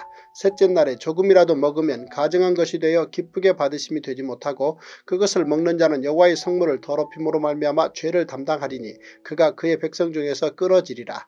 너희가 너희의 땅에서 곡식을 거둘 때에 너는 밤무퉁이까지 다 거두지 말고 내 떨어진 이삭도 줍지 말며 내 포도원의 열매를 다 따지 말며 내 포도원에 떨어진 열매도 줍지 말고 가난한 사람과 거류민을 위하여 버려두라. 나는 너희의 하나님 여호와이니라.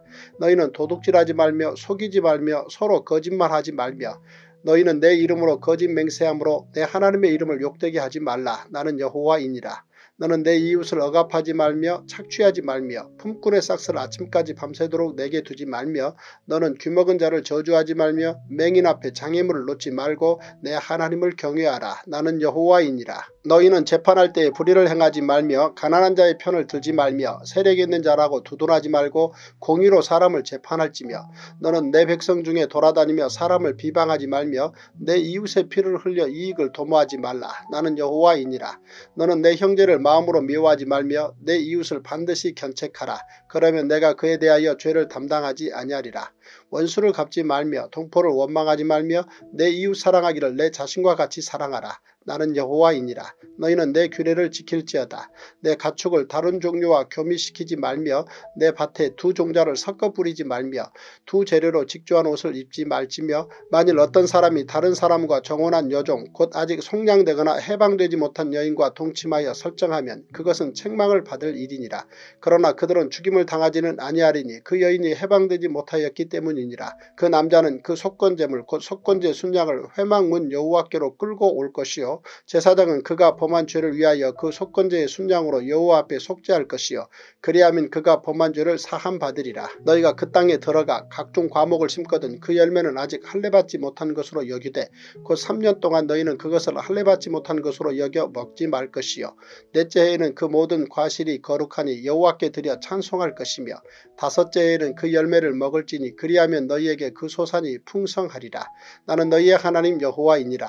너희는 무엇이든지 핏째 먹지 말며 점을 치지 말며 술법을 행하지 말며 머리카락을 둥글게 깎지 말며 수염 끝을 손상하지 말며 죽은 자 때문에 너희의 살에 문신을 하지 말며 무늬를 놓지 말라. 나는 여호와이니라. 내 딸을 더럽혀 창녀가 되게 하지 말라. 음행이 전국에 퍼져 죄악이 가득할까 하노라. 내 안식일을 지키고 내 성소를 귀히 여기라. 나는 여호와이니라. 너희는 신접한 자와 박수를 믿지 말며 그들을 추종하여 스스로 더럽히지 말라. 나는 너희 하나님 여호와이니라. 너는 셋머리 앞에서 일어서고 노인의 얼굴을 공경하며 내 하나님을 경외하라. 나는 여호와이니라. 거류민이 너희의 땅에 거류하여 함께 있거든 너희는 그를 학대하지 말고 너희와 함께 있는 거류민을 너희 중에서 나은 자같이 여기며 자기같이 사랑하라. 너희도 애굽 땅에서 거류민이 되었었느니라.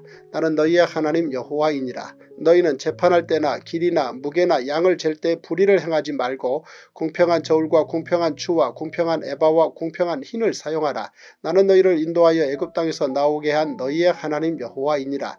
너희는 내 모든 규례와 내 모든 법도를 지켜 행하라. 나는 여호와이니라.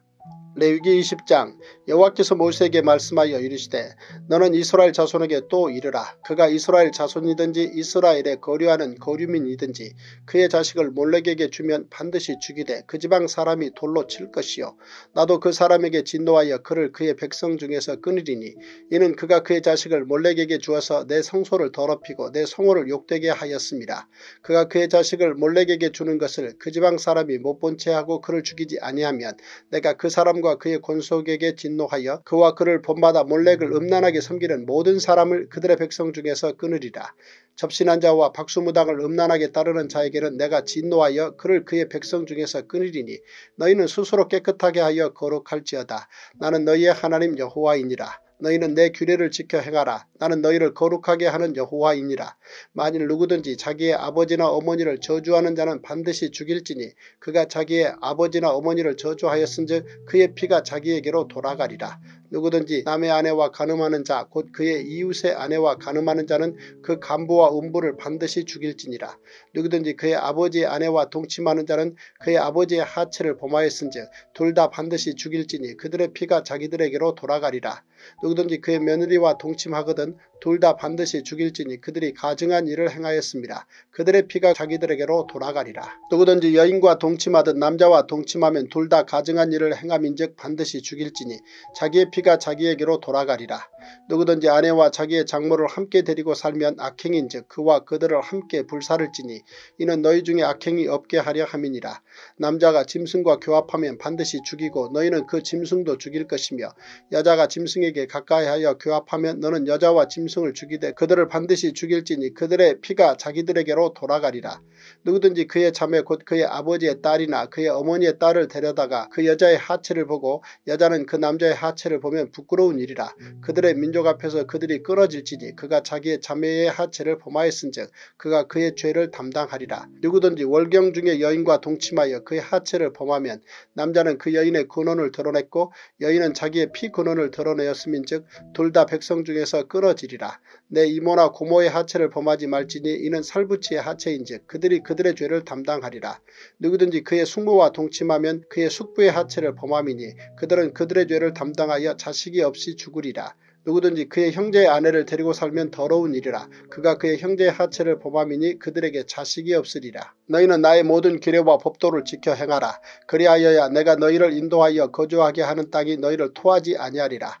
너희는 내가 너희 앞에서 쫓아내는 족속의 풍속을 따르지 말라. 그들이 이 모든 일을 행함으로 내가 그들을 가증히 여기노라.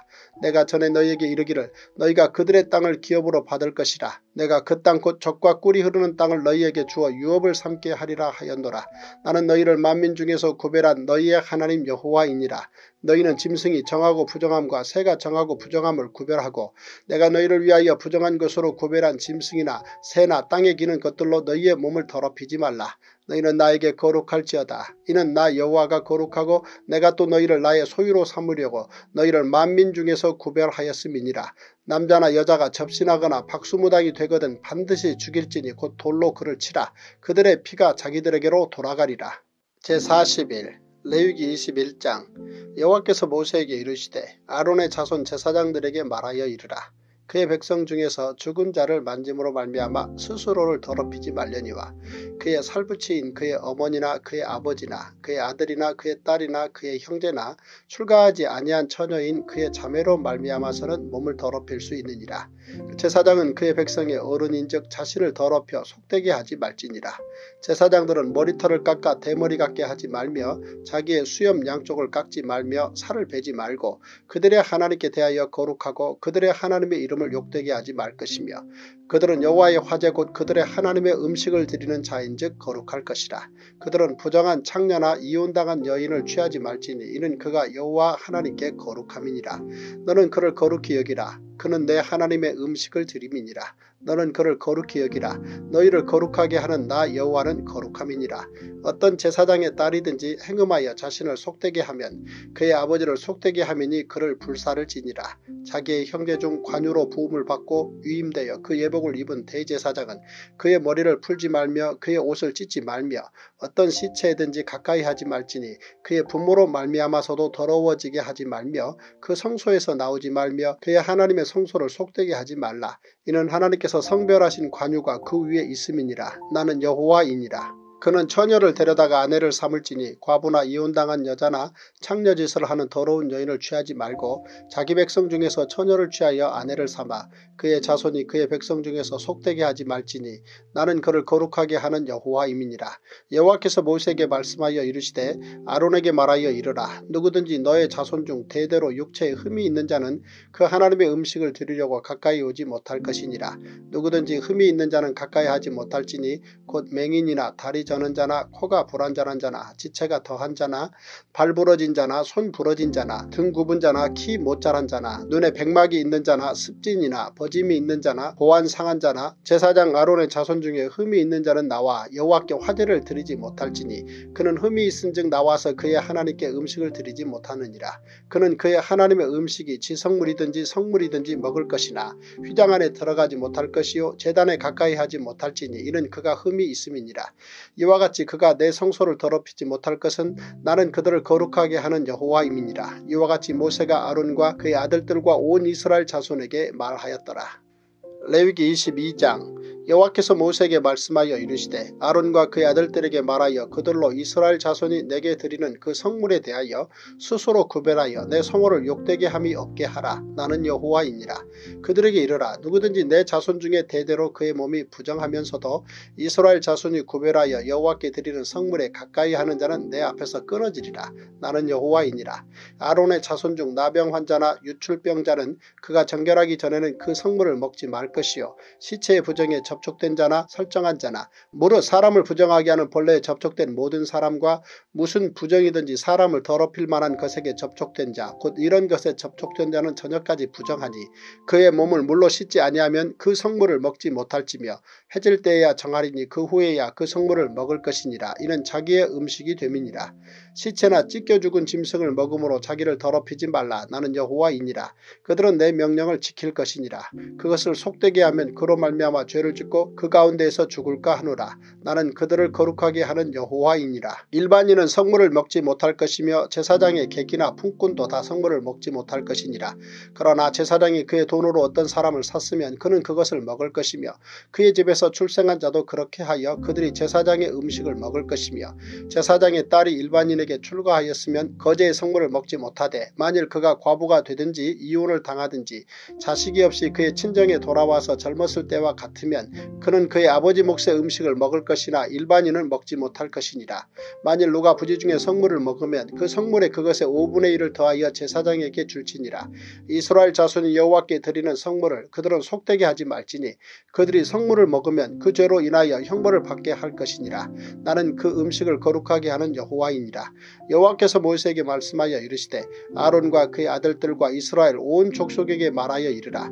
이스라엘 자손이나 그 중에 거류하는 자가 서원 제물이나 자원 제물로 번제와 더불어 여호와께 예물로 드리려거든 기쁘게 받으심이 되도록 소나 양이나 염소의 흠없는 수컷으로 드릴지니 흠 있는 것은 무엇이나 너희가 드리지 말 것은 그것이 기쁘게 받으심이 되지 못할 것임이니라. 만일 누구든지 서원한 것을 갚으려 하든지 자유로 예물을 드리려 하여 소나 양으로 화목 제물을 여호와께 드리 는 자는 기쁘게 받으심이 되도록 아무 흠이 없는 온전한 것으로 할지니 너희는 눈먼 것이나 상한 것이나 지체에 배임을 당한 것이나 종기 있는 것이나 습진이 있는 것이나 비루 먹은 것을 여호와께 드리지 말며 이런 것들은 제단 위에 화제물로 여호와께 드리지 말라. 소나 양의 지체가 더하거나 덜하거나 한 것은 너희가 자원제물로는 쓰려니와 서원제물로 드리면 기쁘게 받으심이 되지 못하리라.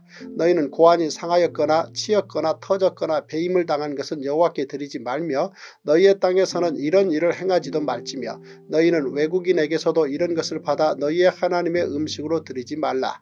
이는 결점이 있고 흠이 있는 것인즉 너희를 위하여 기쁘게 받으심이 되지 못할 것임이니라. 여호와께서 모세에게 말씀하여 이르시되 수소나 양이나 염소가 나거든 이래 동안 그것의 어미와 같이 있게 하라. 여덟째 날 이후로는 여호와께 화제로 예물을 드리면 기쁘게 받으심이 되리라. 암소나 암양을 막론하고 어미와 새끼를 같은 날에 잡지 말지니라. 너희가 여호와께 감사 제물을 드리려거든 너희가 기쁘게 받으심이 되도록 드릴지며 그 제물은 그날에 먹고 이튿날까지 두지 말라. 나는 여호와이니라. 너희는 내 계명을 지키며 행하라. 나는 여호와이니라. 너희는 내 성호를 속되게 하지 말라. 나는 이스라엘 자손 중에서 거룩하게 함을 받을 것이니라. 나는 너희를 거룩하게 하는 여호와여 너희의 하나님이 되려고 너희를 애굽 땅에서 인도하여 낸 자니 나는 여호와이니라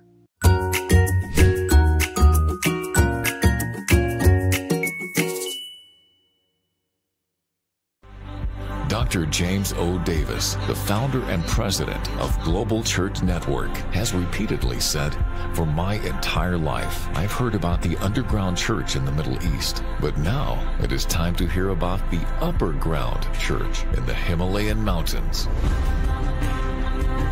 The Himalayan mountains are 1,500 miles wide, ranging from Bhutan to Nepal, India, Pakistan, and Afghanistan. There are more than 20,000 villages in the higher altitudes that have never had a local church in them. Mount Everest Training Center. The Mount Everest Training Center will be located in Salokambu, Nepal at the 8,000 foot level. Salokambu has a population of more than 110,000 people.